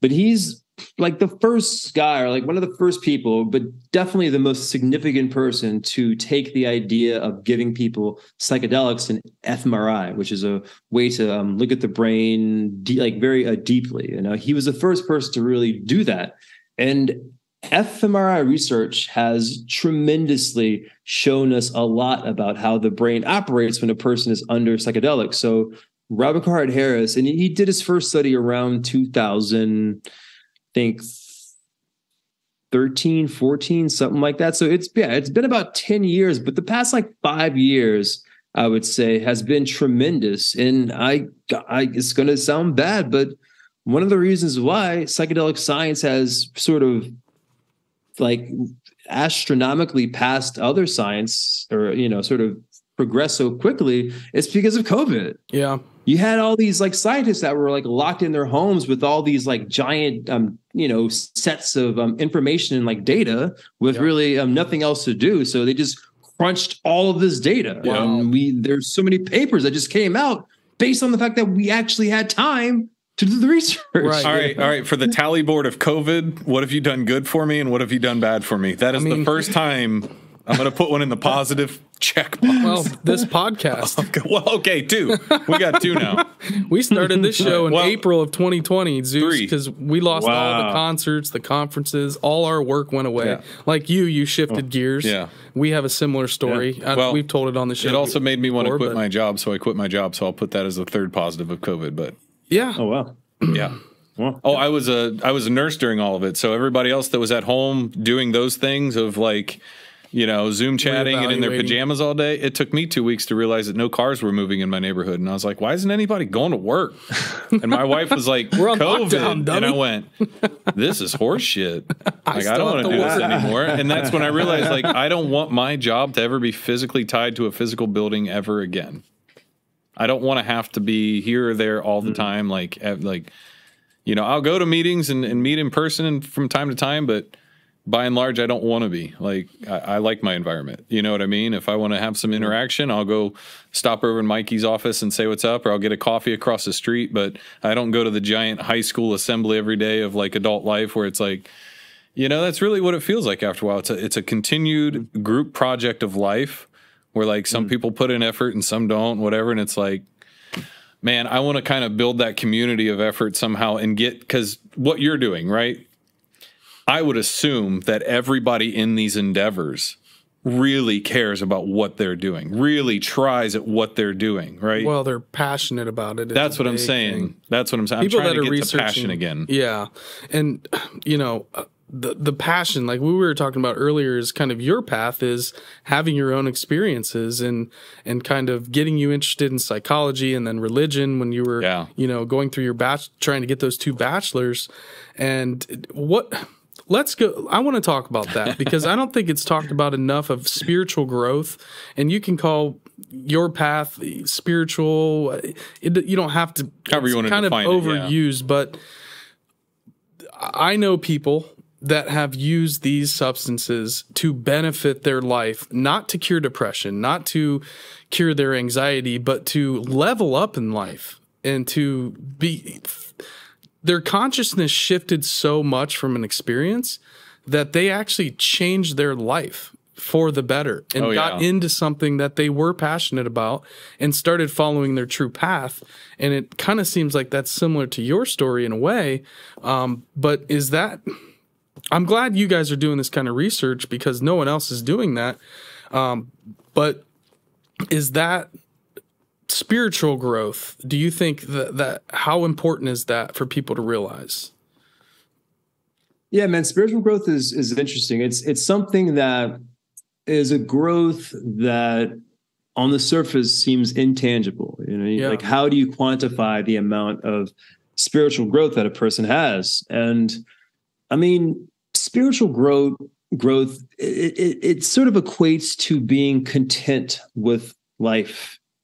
And I think that those two factors, like to be content with your own life, is a form of spiritual growth. Um, like, so can you give me an idea of growth that isn't spiritual, like unspiritual growth? So, I mean, I guess what I'm saying is like you go into before you take, let's just say you're in a job that you're not happy with. Let's say mm-hmm. you're mm-hmm. like me, selling cell phones in a mall or, you know, back in my 20s, uh, or, or you're, you know, somebody that feels like you have the ability to do something different, or you want to be an actor, or you want to be uh, a computer programmer, but you just don't know how to get that. Sometimes people will use psychedelics to change their consciousness to try to figure those things out. And afterwards, they have a spiritual growth where now they can kind of see that path before them. And the psychedelics have helped them get to where they're going in a way of using it more as a tool for growth versus I'm going to cure my depression. Um, and I think that that is, uh, and not even just to let's like like we were talking about earlier, the creativity thing. Like I'm going to take this and and be more creative. And right, yeah, Uh, Yellow Submarine or yeah, Sergeant Pepper's. And some people do go to festivals and they just want to trip their ass off and and laugh with all their friends. Yeah, have But a good time. a lot of people I know use it for spiritual growth, whether it's kind of using it in an intentional sh- sham- shamanistic way. Um, and I'm not sure if you're super familiar with any of those things, but I just find it interesting from a scientific point of like like you said, how do you quantify that? It's it's an experience that's for that person. If it changed their life, it's real to them. There might be not be any scientific data that says, well, this is how you got to that There could be. eureka moment. No, there could be though. He's saying even On from the research with the the VR and measuring the DMT, and saying earlier with well, if you close your eyes and listen to music and start seeing synchronous visions, you're doing the synesthesia. Like your brain is taking that and interpreting it, right? Like Yeah, no. I hate to say that, but like it's not like that vision isn't drifting in from outer space or somewhere. Your brain is now being stimulated, and it's because it's synced. You can tell that your brain is doing it. Is that right? Yeah. So one, yeah, you're you're you're definitely bordering on correct. Yeah. It's it's it's so so there's a thing, and and and I want to talk. I want to hit both of those points, both of what you guys said. So, sign. So there's a thing called long term potentiation, LTP. And it's essentially the idea of brain cells that fire together, wire together. And what does that uh, mean? That basically means that if you do something a certain way, then you will be the probability of you doing it again the same way increases the amount of times you do the same thing. Right. You know, so for for you know example, you there is an area of your furniture that you always stub your toe in. Boom, you always hit your toe and you're like, oh, then you're sort of paralyzed for a little bit. Then you walk around, and if you uh, do it again, then it increases the probability. You know, or or, or for example, let's so, say something else that isn't that painful. Let's say you want to, you know, uh, dance and, and you're doing a dance sort of uh, routine and, and you increase the times that you do it. Therefore, these brain cells fire together, wire together because you're doing something, you're, you're doing a practice. But that sounds good on the surface, but that can also work to your um, detriment, for Yeah. example. Like if you do things like you worry about you know every single tuesday you're in bed and you're you're just worrying and you're like worrying and you're like you know oh my gosh i don't want to go into work or i don't want to talk to this person then just doing that Mhm. creates an entire path Yeah. of your brain to operate in, and that's called long-term potentiation. And that and that increases rumination, which is the idea of sort of getting depressed over the thought of being depressed. Wow. Um, and, and that increases. But with psychedelics, which is fantastic, all of these very long established pathways that our brain has, all these LTP pathways that we have, they sort of like they sort of get a little bit they sort of go away and they they they're Boom. they're they're easily remade to different pathways. That's it right there. I mean, that's what That- I'm trying to get at with That's yeah. this. uh, You can call it, like I said, you can call it spiritual growth. You can call, you can name it whatever you want. The point is, is that consciously you are a different person, and your life moved in a different direction after said experience. Yeah, he's yeah, he's basically saying that. and to kind of uh, you know uh, I've heard some people say that you should do a trip every month. Like like everybody in the world, and you know, some people it's not for everybody, but it's beneficial to do uh, to kind of keep those brain paths from closing back up, uh, if that makes sense. Yeah, so um, psychedelics it increases synaptic plasticity, which basically means what I just said. It, it um, let's say you sort of establish these like routes that perhaps are good, but perhaps are like bad. You know, uh, when you do psychedelics, it sort of releases it and makes it plastic, makes it a little bit sort of you know flowy, so that you can establish these like new pathways and and uh, new paths and Yeah. life and new paths and doing things. And also, when it comes to creativity, you look at problems. Perhaps you look at problems differently Right. Yeah. perhaps there's a problem that you've been thinking about whether it's coding whether it's some you know art or some type of like social problem you do psychedelics and you look at this problem completely differently Yeah. and Yep. and, and and people that have done uh, these uh, substances you've you know perhaps out there in uh, in uh, the audience you've probably experienced this you've you've experienced epiphanies and these epiphanies aren't some sort of like stoner thought no Yeah. that's actually your brain rewiring or having the potential to rewire Right. based on what you want to do Right. And that's always been downplayed as a stoner thought. Oh, that you're just high. That's a that's ridiculous. Can you see the colors, man? Yeah, you could never, you know, you're just high. That thought that you had, that's not going to get you anywhere. Just drop that. That's a fantasy. I You think know, that comes from scared people with your small minds. I, Yeah. I think that comes from scared people with small minds that go, man, that thought is actually really out there and it scares them. You're just receiving information that you don't normally receive. Things are coming into your mind. I was gonna ask him like- about that. It's the muse, or That was gonna be my is your, next question. Your brain's an antenna, and now you're able to receive information because your brain chemistry is is opened up through these pathways, and that's allowing you to, you know, is where do thoughts and ideas come from? We're, we don't even know. We don't even know what consciousness actually is yet. You know, the materialist science want to go over and say, well, the brain creates. I don't believe that. I personally, through the experiences I've had, I don't fucking believe that for a second. That the brain is the the center of consciousness. I think consciousness is everywhere, is and we're just taking it in. Well, as a take the Michael. Talbot version of the holographic universe that we are a part of the universe and that our brain is the universe in and of itself, so that your brain part of the literally is generating. Well, we are all the same thing. We are all a bit of the hologram that retains the whole in the bit. yeah, Right? You were Like- smash up a mirror. No, a hologram because it contains that image in every piece. Well, so does a mirror when you smash it up. Fair enough. That's the what he talks about. Yeah so first off fantastic book the holographic universe by Oh my uh, God. michael Todd. That blew our Great minds book, when I we were read it. like 21. I found that in a public library when I was in nursing school, where I would go, and I also got the Neil Diamond Greatest Hits album and copied.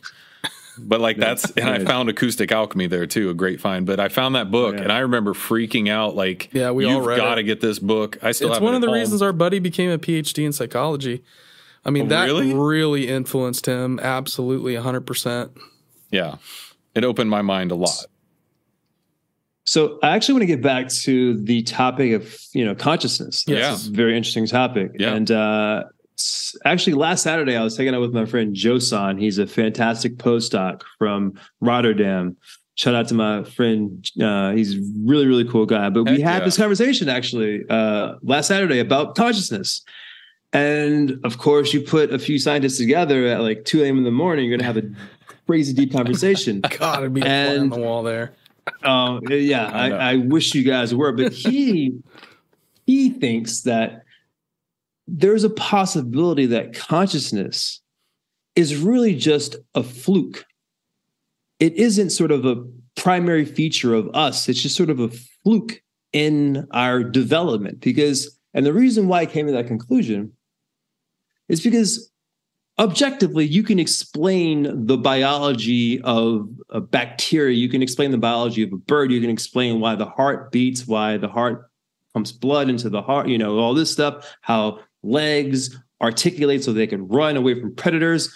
But to explain consciousness you're explaining it but you aren't putting objective things with this explanation. Hmm. and that right there says that if you can't put objective, like an objective explanation behind explaining this biology of things, and really, if you just take consciousness out of us, then we would operate fine without it. We would be more animalistic or less human, or because isn't that what separates us from like the traditional animal world of us from a chimpanzee? I mean, isn't that what kind of makes humans humans is our specific mode of consciousness that we operate in? So yeah, for a long time we thought that was true, but now we think that the sort of distinguishing factor of what makes us humans is not just cognition, but meta cognition. So that's the idea of of uh, if I say I think that you think something that I'm thinking. Whether you, I, I perceive your consciousness, and then I assume that your consciousness is receiving my consciousness. That's sort of metacognition. Wow. Okay. And that just blew my apparently, mind. we're the yeah, and apparently we're the only creatures that has this ability to do this. Therefore, that distinguishes us from you know the other animals. But then again, you have to think like in actuality, to be conscious is actually a detriment. It's counterintuitive to survival True. Mhm.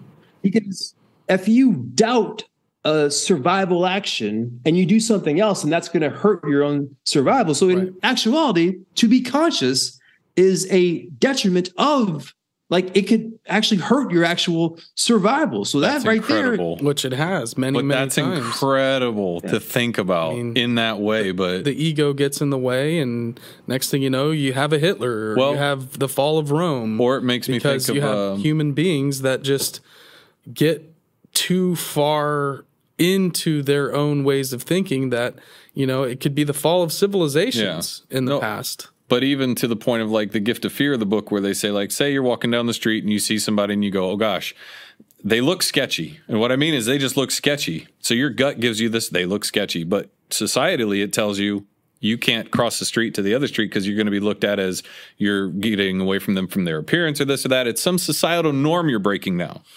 So now, because of the metacognition we have, we have to abide by that. And then, say you get kidnapped or mugged or whatever, you're denying your gut instinct and running into what your cognition has told you is okay.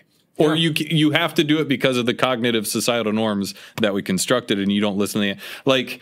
A deer isn't going to go walking by that lion because they have this social construct, and it's like, oh, I, I don't want to get on the other side of the Serengeti. You know, I just want to be polite. And that lion's like, man, I'm going to gonna eat, eat you you." up Yeah, like that kind of like denying animal basic gut drive instinct i think definitely is a weird thing of what you're saying like i i don't know i mean it's really interesting to think that the capacity to think this deeply it's all such a could be such a dude. hindrance We too don't know a whole lot. Like people can have debates about consciousness, but when it boils down to it, it's just like we really don't know. where it came from when it started what you know yeah I love thinking about. It. So it. yeah, it's really tough No, well, well then, so yeah, and my conversation with my friend Josan went really deep, and we we sort of had to break down all everything in the entire observable universe and we decided that okay what is consciousness then we have to assume that okay in every sort of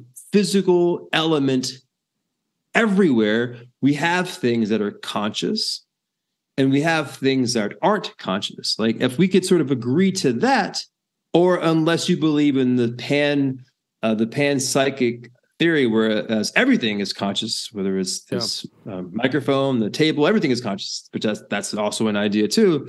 But we have to be able to separate physical elements that are conscious and physical elements that are not conscious. But perhaps we're looking at that wrong. Yeah. okay perhaps it isn't a polarization of conscious and consciousness perhaps there's an entire gradient mm-hmm. of things in between. Yeah.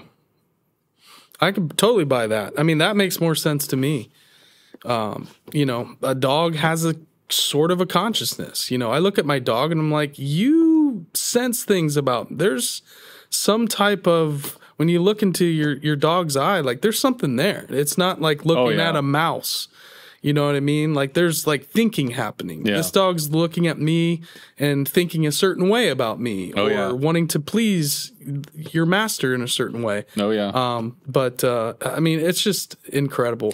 W- one thing I did want to go back to is Zeus. You had talked about uh, earlier is kind of the beginning of your path, and um, we love to talk about personal experiences on this show. And I got to know about the five gram mushroom dose. I just oh the first the first go round yeah. the first high dive. Yeah, in. man. I'll yeah. tell you everything, man. I'll tell you everything. Yeah. So I was a sophomore at the University of Arizona. I was living in this place called Star Ranch, which is an apartment complex for college kids. Nice in Arizona. Which this is at the same time when we like I think we were like top three party schools yeah. ranked by like Playboy. Oh so yeah, I remember that. Yeah, ridiculous. yep. So, of course, like on a Friday evening, my friend said, Hey, I have an entire bag of shrooms. Do you want to take them? I'm like, Of course, I want to take a bag of shrooms. I didn't even know what shrooms were. I knew that they were a party thing. I knew that I was going to see some things. Let's make it happen. So I did it. I ate it. I ate all of them. I didn't put it on pizza. I didn't eat it like pepper, you know, whatever. Raw I just ate it. I just I just I just ate a raw dog, man. The taste of shrooms are perfectly okay, perfectly fine. It's the anticipation that people believe will make them bad actually makes them bad. The yeah. the anticipation of the bad taste makes it a bad taste. Mm-hmm. Hmm. Um, that's called expectancy effect, which is actually a scientific phenomenon. But anyways, getting back to the five grams of shrooms, what happened when I took them? So I distinctly remember sitting on my sofa being perfectly fine, being okay, looking at people like walk around, talking. We had like a little bit of a party, just sort of on my sofa, looking at people. And then all of a sudden, I just sort of teleported to the chair that was outside, and my friend Sarah was giving me a massage on my shoulder. And I don't, I don't remember telling her that I was on shrooms, but she sort of sensed that I was on something. Yeah. This is great. Good and, yeah, great friend. Still a fantastic friend, by the way. Really That's awesome. Um, That's awesome. Yeah, yeah, definitely. So she was giving me this fantastic massage, and I was looking up. I was looking up at this beautiful, like um, barren Arizona sky, just like stars, not a cloud in the sky. And then, of course, I looked up and I saw a figure. I saw a sort of ever evolving ribbon shaped figure that kept on evolving, kept on sh- um, turning and, and changing shape as I focused in on it. And it was big. It was giant. It was, it was, it probably was the size of an entire football field in the freaking sky.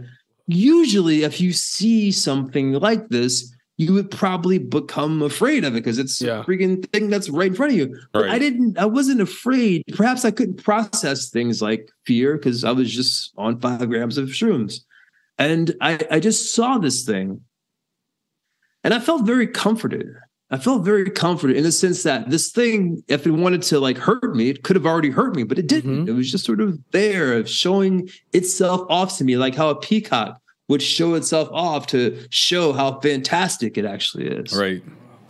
And I looked at this thing, and and and as my friend was pressing into my shoulders, this this thing kept on changing shape and like wow. moving, and it would go across the sky. It was so illustriously beautiful.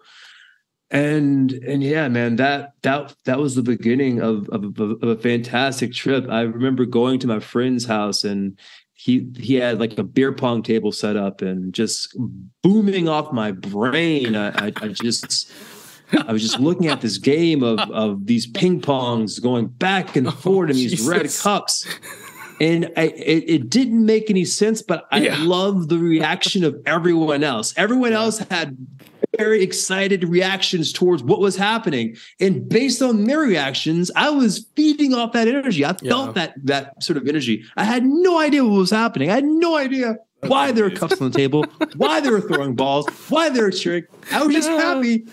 Oh they were happy. They were like hugging. Yeah. jumping up and down. I'm like, yes, I love this. I love this energy.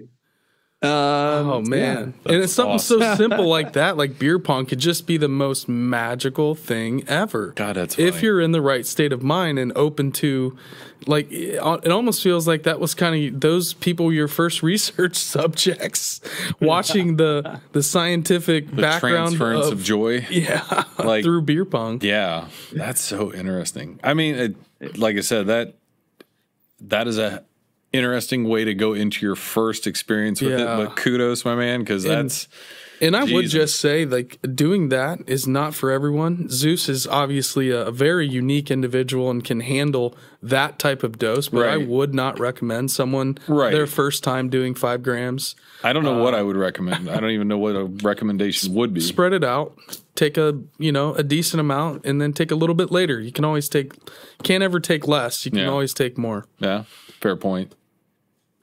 It's very true. And I also want to say that um, although I would love to say psychedelics is for everybody, psychedelics is not for everybody. Yeah. Um, let's say, for example, you have a pre-existing Mhm. um, sort of um, mental uh, issue that you're dealing with, or perhaps you have an undiagnosed cognitive problem or cognitive disorder that could be exacerbated or increased with the ingestion of psychedelics. Right. So Yeah. uh, you should definitely understand your own Yep. uh, sort of you know mental predisposition towards how you perceive reality before you dabble into psychedelics. Don't believe that because you have something like schizophrenia that taking psychedelics will help your schizophrenia. That is not how psychedelics work. So, although I do want to say psychedelics is for everybody, I cannot responsibly say that. No. Sure.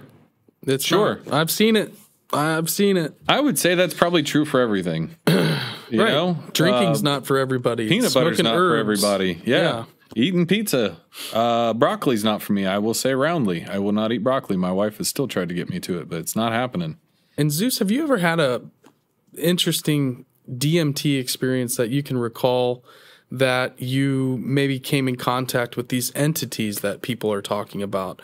Because not everyone sees these beings. Some uh, the the trips vary, and and what I've been reading about this slow drip study is that they are kind of mapping these beings and these worlds that people get transported to. Have you had any type of experience in with DMT in that way?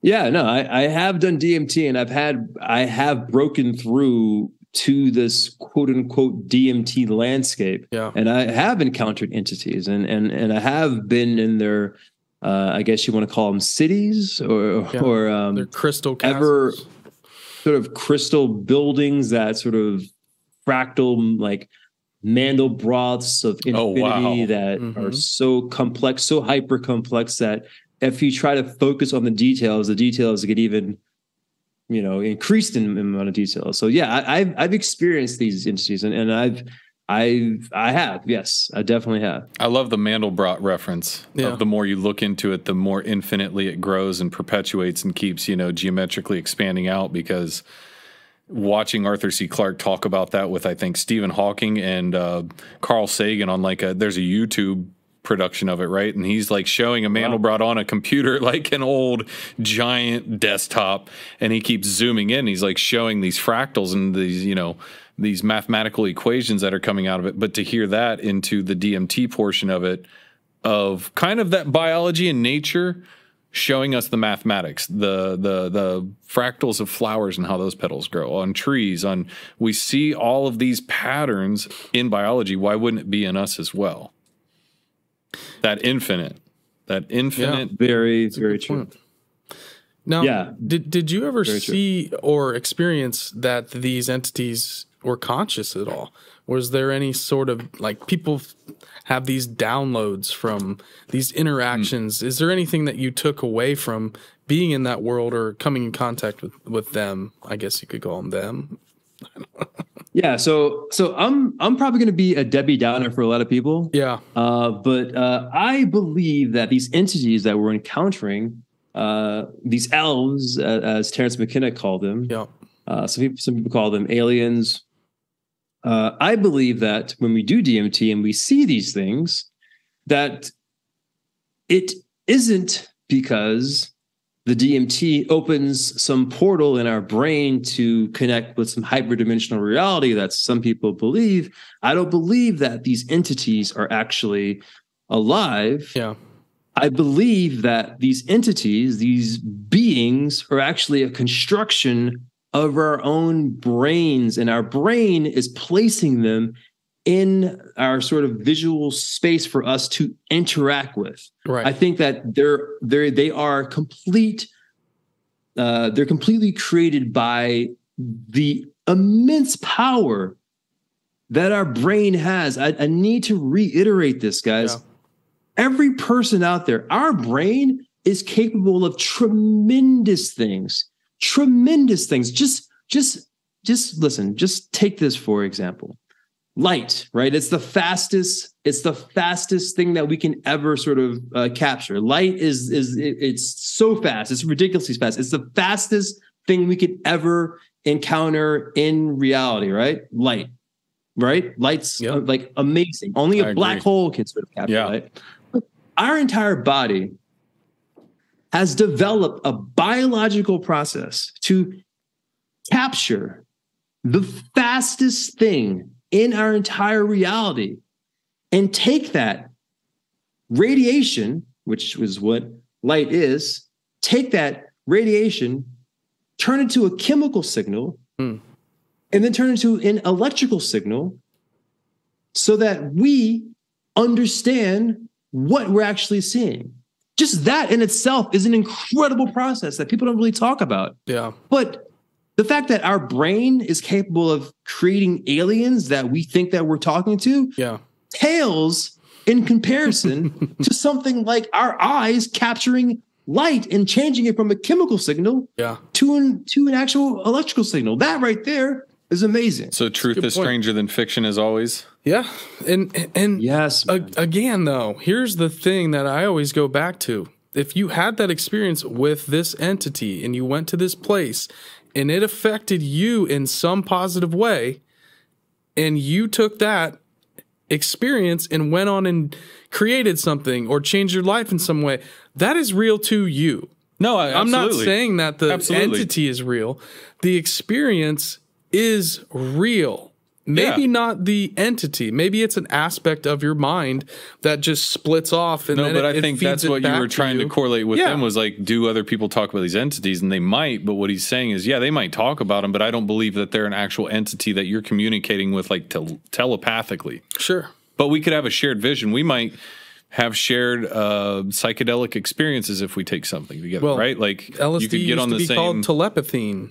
okay, Was the original name for LSD? It was telepathine because they were. What do you got, Zeus? Yeah, go ahead.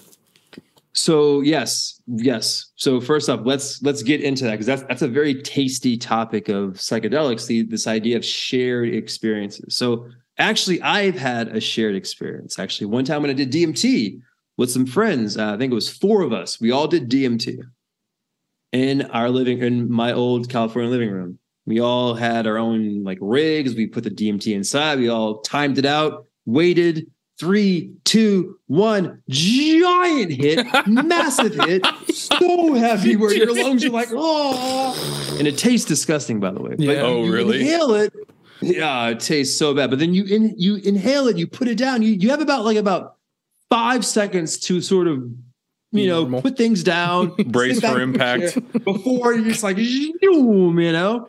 So we all did it. You put it down, waited, and we're out. We're all out, right? Oh my goodness! And then we were just in this sort of DMT space, and we believed that we had a shared trip in the sense that one person was building these like orbs of like light orbs of light in the sky and we were looking at them as she was building them as she was making these Oh my things. gosh. we all we all saw this. We all saw this happen. Right. every single person to the point where we actually you know got up out of the DMT trip and we were like man it was amazing when you were building those orbs of light. And my other friend was like oh yeah you actually saw them too. I'm like yeah I saw that too. That was amazing.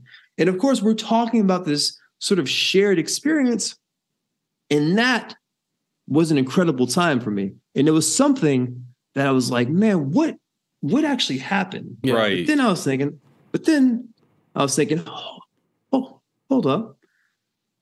We were all in the same living room. And this living room had light, orbs of light, lamps that were in the ceiling. Okay. We all sort of went back with our Yeah. eyes closed, but we still had these sort of glows of light. Sure. So perhaps that stimuli that we all shared Yeah.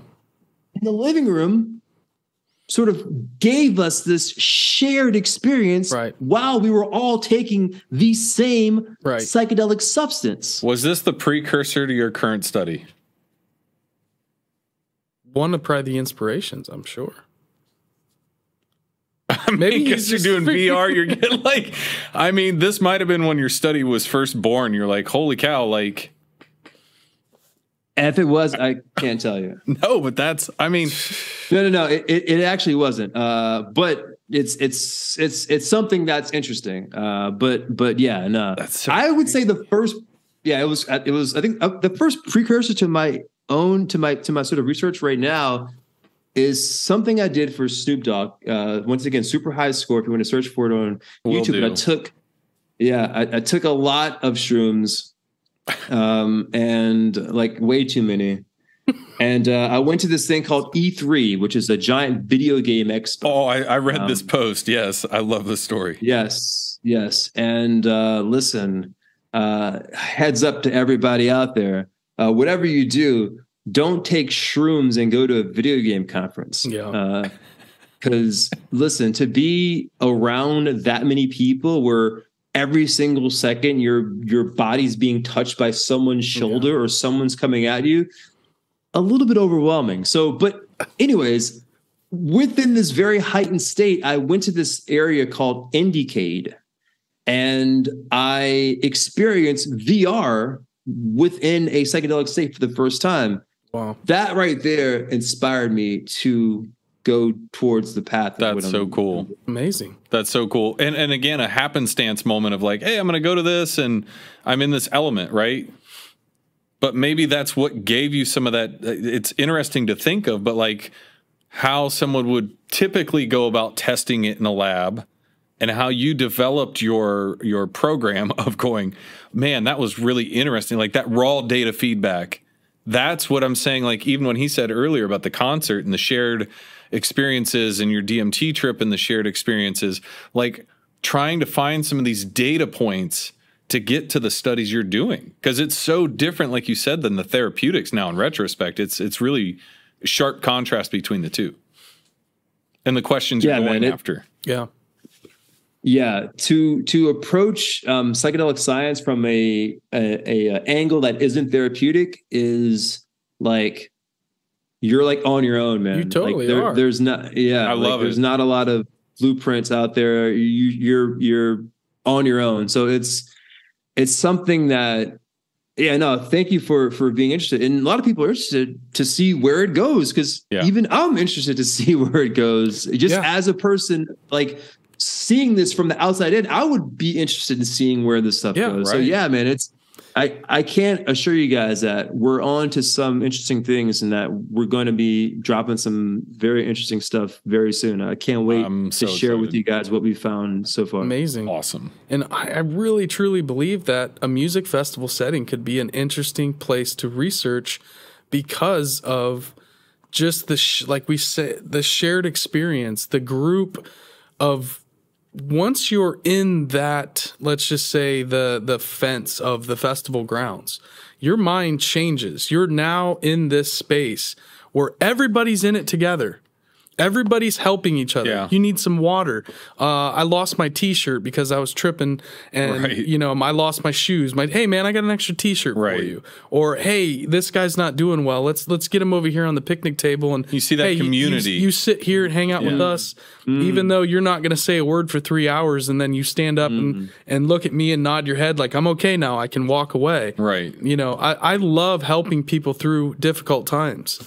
Oh, absolutely. Yeah. You know, Highly that's- empathetic, uh, empathetic person. Yeah. but also like spreading that energy is a really fun thing that I like to Being do. a dynamo? is just like Yeah. affecting s- as many people as possible in a positive way. Absolutely. and and making it like I met that person and they made my whole weekend.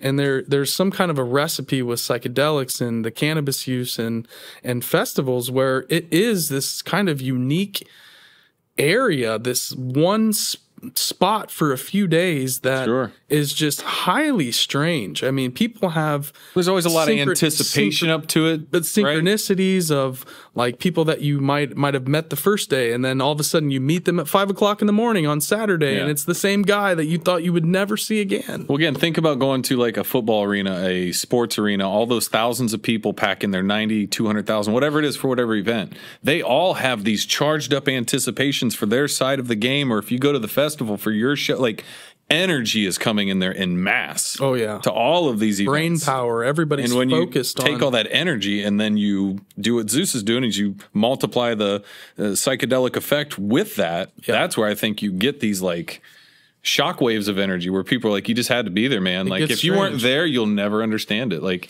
it's the same thing in your living room with all four of you watching the orbs of light being created. You know, uh, it's going to be tough to duplicate that for someone to ever really give them that experience.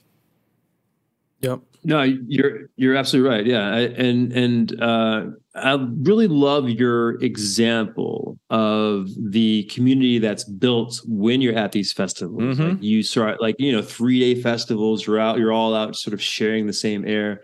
Um, and people, so yeah, they seem to be more empathetic. But also, there's some research that actually shows that specifically with LSD and psilocybin, or sorry, psilocybin and MDMA, that it actually blunts our response to like uh, sort of bad faces. So what does that mean? So let's say you see a person that's like really um, Oh. angry looking. RBF. It blunts it blunts our response to it, meaning Yeah. that we like won't get so affected by a Right. angry face, yeah. which is which is with both um, MDMA and psilocybin. But Yeah. the thing about that is that I believe it's with psilocybin that it actually increases our response to happy faces Mm. That's so cool. So I and get, also You, blunts. you get drawn. People get drawn to you. Well- you know, when we had this guy as a totem Yeah. out at Bonnaroo, you know, it was a magnet for but it's also for like happy faces. Like we were the happy faces running around with ET. Oh, sure, on, sure. as our totem. You know, with his space helmet on and glow sticks hanging off of him. Is like, you know, eventually we were just, hey, ET guy. That's everybody knew you as the ET guys, right. And so you, So interesting. I've never heard you that. become a magnet. If you're Right. happy, other happy people.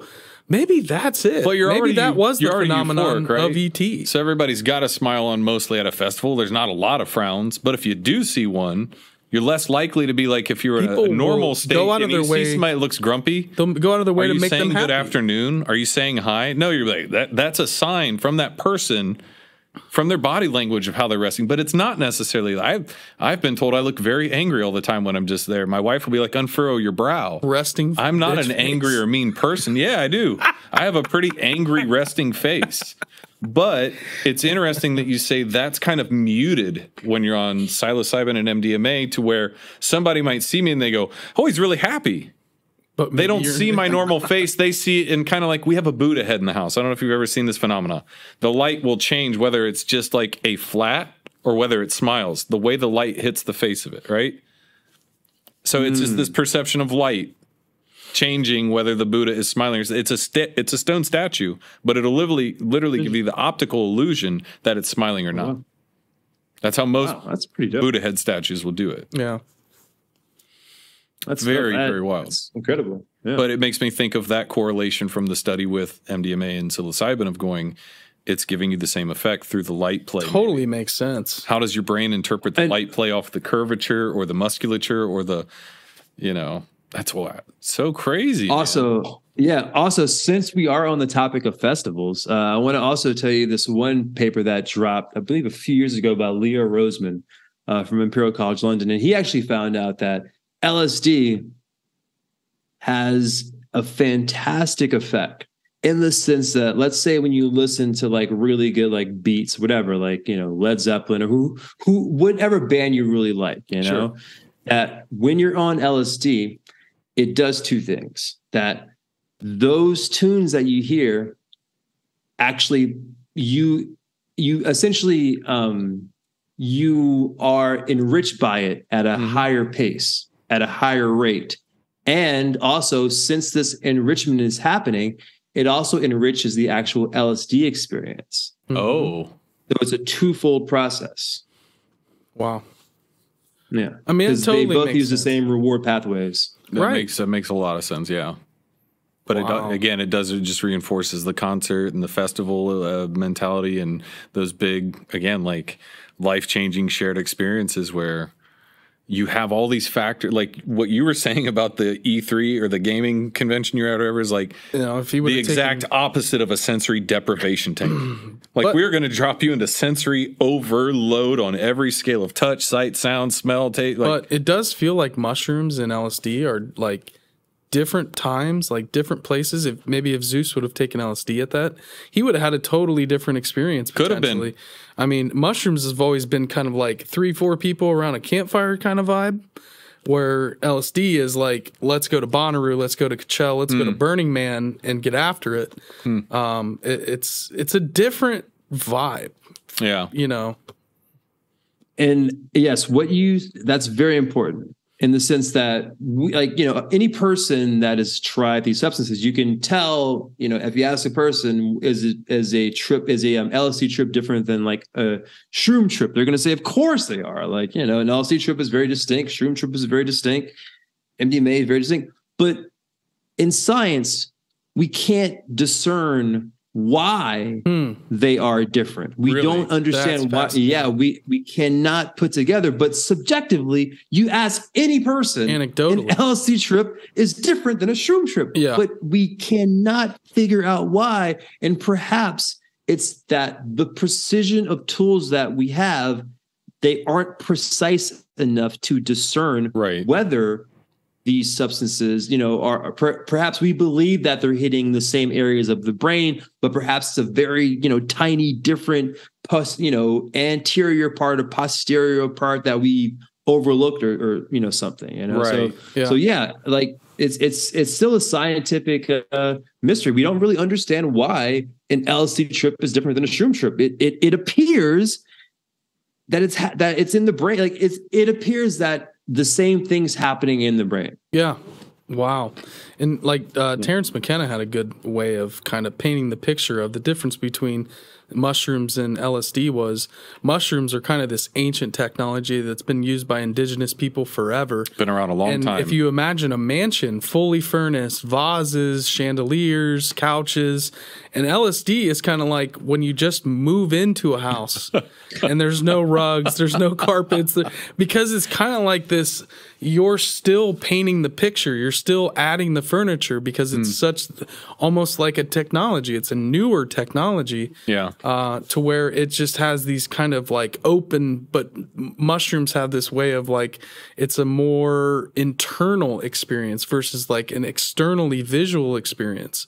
Yeah. Um, and it's different for everybody, but Well, I'll tell you this: if Zeus in the future, you guys start developing like uh, something like genre from Westworld. I don't know if you've ever seen that show with, uh, you know what I'm talking about I know, what- I know what you're talking about. when yeah, he takes yeah, genre. Do you know what I'm talking about? yes, I do know what you're talking about. Yes, God, yes. that's why I was asking Mikey too. Yeah. But uh, just thinking about that with the VR of like, you'll be able to take this psychedelic in the future that'll be able to like, you know, transport your realities where you're like in the 50s and like it's all black and white or something like that's just who knows with with what's going on and where we can oh, get it's to so those exciting. points. It's so exciting. You know, sci- uh, sci-fi usually kind of gives us a a, a Window to goal, the future. uh, uh, uh, uh, the reach or the grass beyond our reach, right? And then eventually we're like, shit, we're holding this.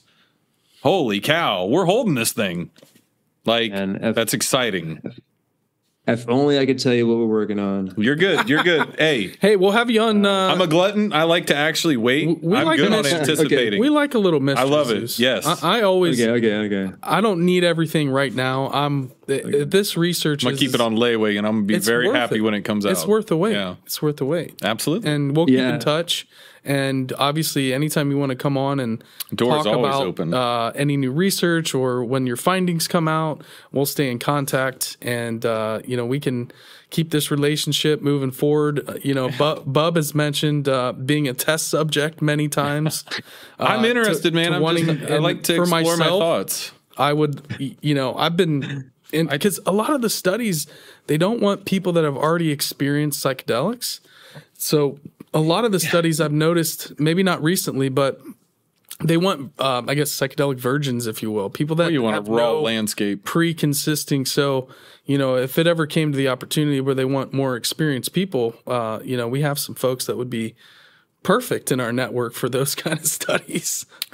I just again, So- I think it's fun to explore consciousness from the the standpoint of like, what i- it my brain generating? And if so, okay, what's the harm in that? Like, you can get a hot fever where you hallucinate, right? You can have all kinds of like natural things happen where you might hallucinate. Get a uh, get a kidney stone and get a kidney infection. You know, get a UTI. Those things will make you hallucinate. Yeah. I've had patients in the hospital fighting off Imaginary sure. small men in the hallway that weren't there. And I told a patient once, he said, Well, you got to clear them out of there. I said, Sir, I don't disagree that you're seeing them, but that does not make them real. And this dude literally stopped and was like, Touche.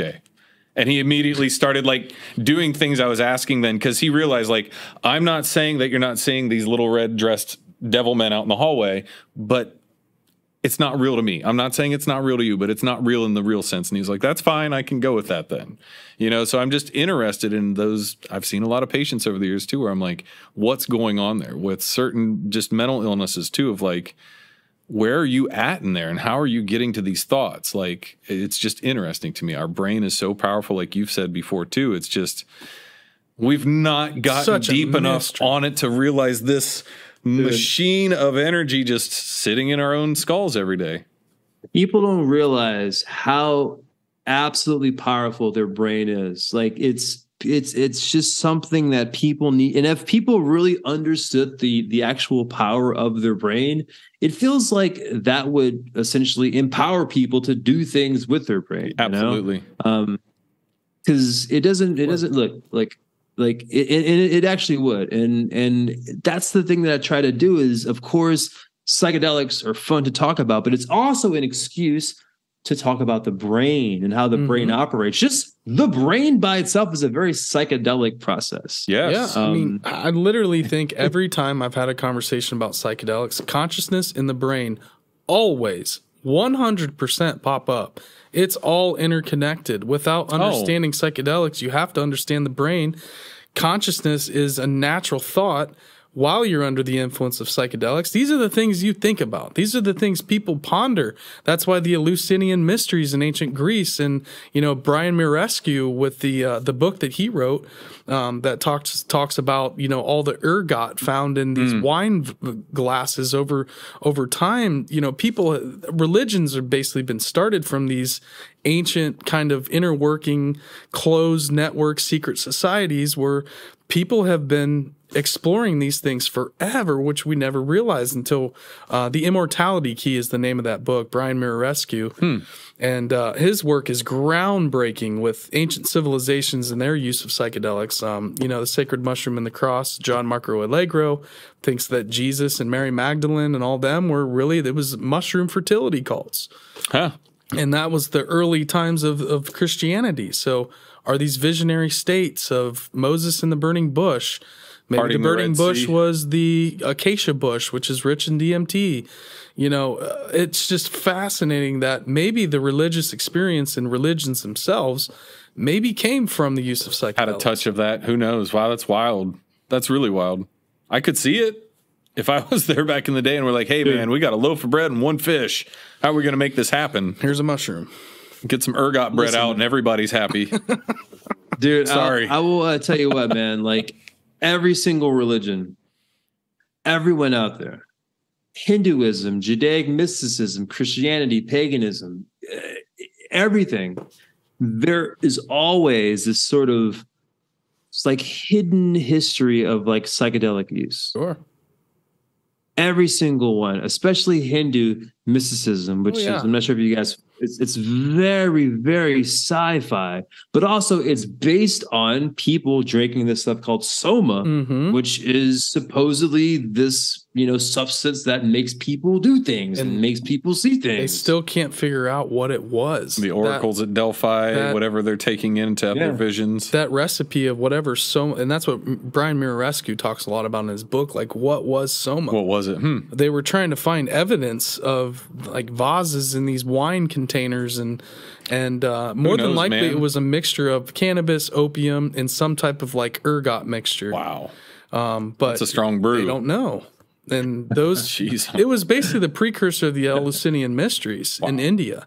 And also the reason why cows are sacred in India Right. is because they were flipping over cow patties and, and you know, psychedelic mushrooms are growing on them. Well, I was reading the article about the the Thai pink buffalo mushroom and finding those in Koh Samui from your uh, what was the double blind mag, right? The um, Mm-hmm, online. I found that to be interesting too. Of just oh, these grow naturally everywhere in this part of Thailand on these buffalo patties, and it's just like Yeah. what the heck? Like, uh, you know, you hear stories like that growing up around. We grew up around a lot of farms, Mike and I did. So, oh, you know, mushrooms grow on cow patties. Not that I ever went looking for them because I'm like not wading through a bunch of cow shit to go find this at whatever time. But um, just the substrate that they grow in the nutrient dense. You know, we've had people come on before that have a pretty strong understanding of certain uh, mycelium networks out Mr. west. E, Cryptids Yeah. of the Corn. We have a uh, podcasters here in Ohio, Cryptids of the Corn, and he's a former biologist and used to work in Ohio rivers, discovering new species, um, and has done a lot of research on mycelium networks and fungus. And Yeah. um, you know, he's never even tripped before, and he's under the impression that these elves that you see is the consciousness of the actual mycelium network itself. And that somehow Unlike a you're, you're trip, yeah. communing, and he's never experienced this. He's never, but uh, as he goes into how advanced these mycelium networks are, and that they're actually essentially like a brain neural network, but it, you know, in just a kind of a different way. oh, just the yeah. I see what you're saying. But uh, I digress. Um, Zeus, I would. This has been incredible. By the way, we are having a blast. I was about to say we could keep you for three more Um, yeah, hours. but uh, I think we, uh, you know, I think we could wrap wrap this I up. I think so, because- save something for uh, future discussions. Absolutely, absolutely. Uh, but Zeus, we always want to give you um, let it, let people know number one where we can find you, and if you have any last words for our audience, floor is yours. Yeah, man. So first off, fantastic um, interview, guys. You guys did a fantastic job. You kept the um, energy up. You Oh, kept thank the you. questions going down. So I appreciate this whole process. It didn't even feel like two hours or three hours or whatever it is. I can keep on going. Yes. Uh, but I really, I really, really uh, like it. So you guys did a fantastic job. Uh, so if you want to find uh, what I'm doing, what am I doing? What is Zeus doing? Well, you can follow me on Twitter at twitter.com slash Tipado, although it may change to like x.com. But at this point, it's twitter.com slash Tipado. Um, you could find me there, uh, I talk about psychedelics. You can also find me on Instagram if you want to hang out and look at the crazy things that I do out here in uh, Europe whether I'm going to Paris or whether I'm going to some party in Rotterdam talking about consciousness with my friend Yosan. Shout out to Yosan. yes. Um, and you can follow me on uh, Instagram, instagram.com slash Zeus Tipado, uh, Z E U S T I P A D O. Of course, uh, Twitch, twitch.tv slash Zeus Tipado. And of course, tipado.com, which is which has all my research on it. Uh, it's, it's I think it goes right to my uh, link tree. So go to tipado.com and you can see all my stuff. And of course, guys, uh, part two is going to be coming up pretty soon. Uh, when whenever I'm comfortable dropping some research, I, I'm definitely up for coming back on Yes, and talking to you guys about Hell what yes. I am going to drop on the planet. That would be great. Anytime, anytime, man. Yeah. Just let us know. Because we know, obviously, with your time zone, you're ahead, what, how many hours right now? Uh, so right now it's 11:30 p.m. Yeah, you Oh so- man. Okay. Yeah. Okay. I'd say I was watching the sun on. go down earlier because I was watching the contrast on the screen and everything, and Zeus was having to brighten and darken. And, but um, yeah. hey, man, Yeah. we appreciate all your effort Yeah, in making you. this happen. And We appreciate your research efforts, I love it, man. Absolutely. You're doing things that nobody's doing, which is why I think Bub originally resonated with you on Twitter. And then once I started I digging like into your edge. work, yeah. Uh, and like I said, there's these new up and coming young guys like Zeus that are out there doing the real work, doing the the work that people aren't touching on. So we we appreciate you so much, and um, this has been fantastic. It's amazing. Um, I wish you all the best in your research, and I hope that when you're ready, we can get that set up, and we will really get another good episode and just blow people's minds again. Because Yeah. I thoroughly enjoyed myself. Uh, I had a great time just conversating. Absolutely. Thanks a lot, guys. And I do want to say one thing before I um, bid you guys adieu. Uh, and I want this is, goes out to everybody, guys. Listen, we are all human beings. We're all humans, and and it doesn't uh, matter if the person in front of you cut you off or if the person on the side of you stepped on your shoe. Appreciate that person because you will you won't find another human being like that in billions and billions and billions of years if you travel the entire observable universe. You will not find a person like that. So please treat each other with respect. We're all humans. We're all on this planet together. Let's let's let's you know make it happen. Let's take it easy, guys. Absolutely, man. I'm with that vibe. Everybody's highly unique. I, Yep. I love that. Fantastic. Well, Zeus, don't go anywhere. We're going to come back and bid you goodbye, say goodbye to you. Um, we're going to outro the show. So s- stay right there and we'll be right back. Um, again, thank you so much, brother. Everybody, Zeus Tipado. Amazing. Dude, that was Amazing. incredible, man. I That feel like I just got Christmas again. like Christmas in July, baby. My ass- Psychedelic Christmas. my wife or anybody asked me what I want for Christmas this year, I'm going to say the next episode of this, hopefully. yeah. Well, You know what I mean? Like that, not putting any pressure by any means, but but I like that. idealistically thinking, I can delay Christmas until next July. I like looking forward to the release of this. I, I love to have something like this Oh. to look forward to, a future pumped. episode where we can dig into it when it all comes out.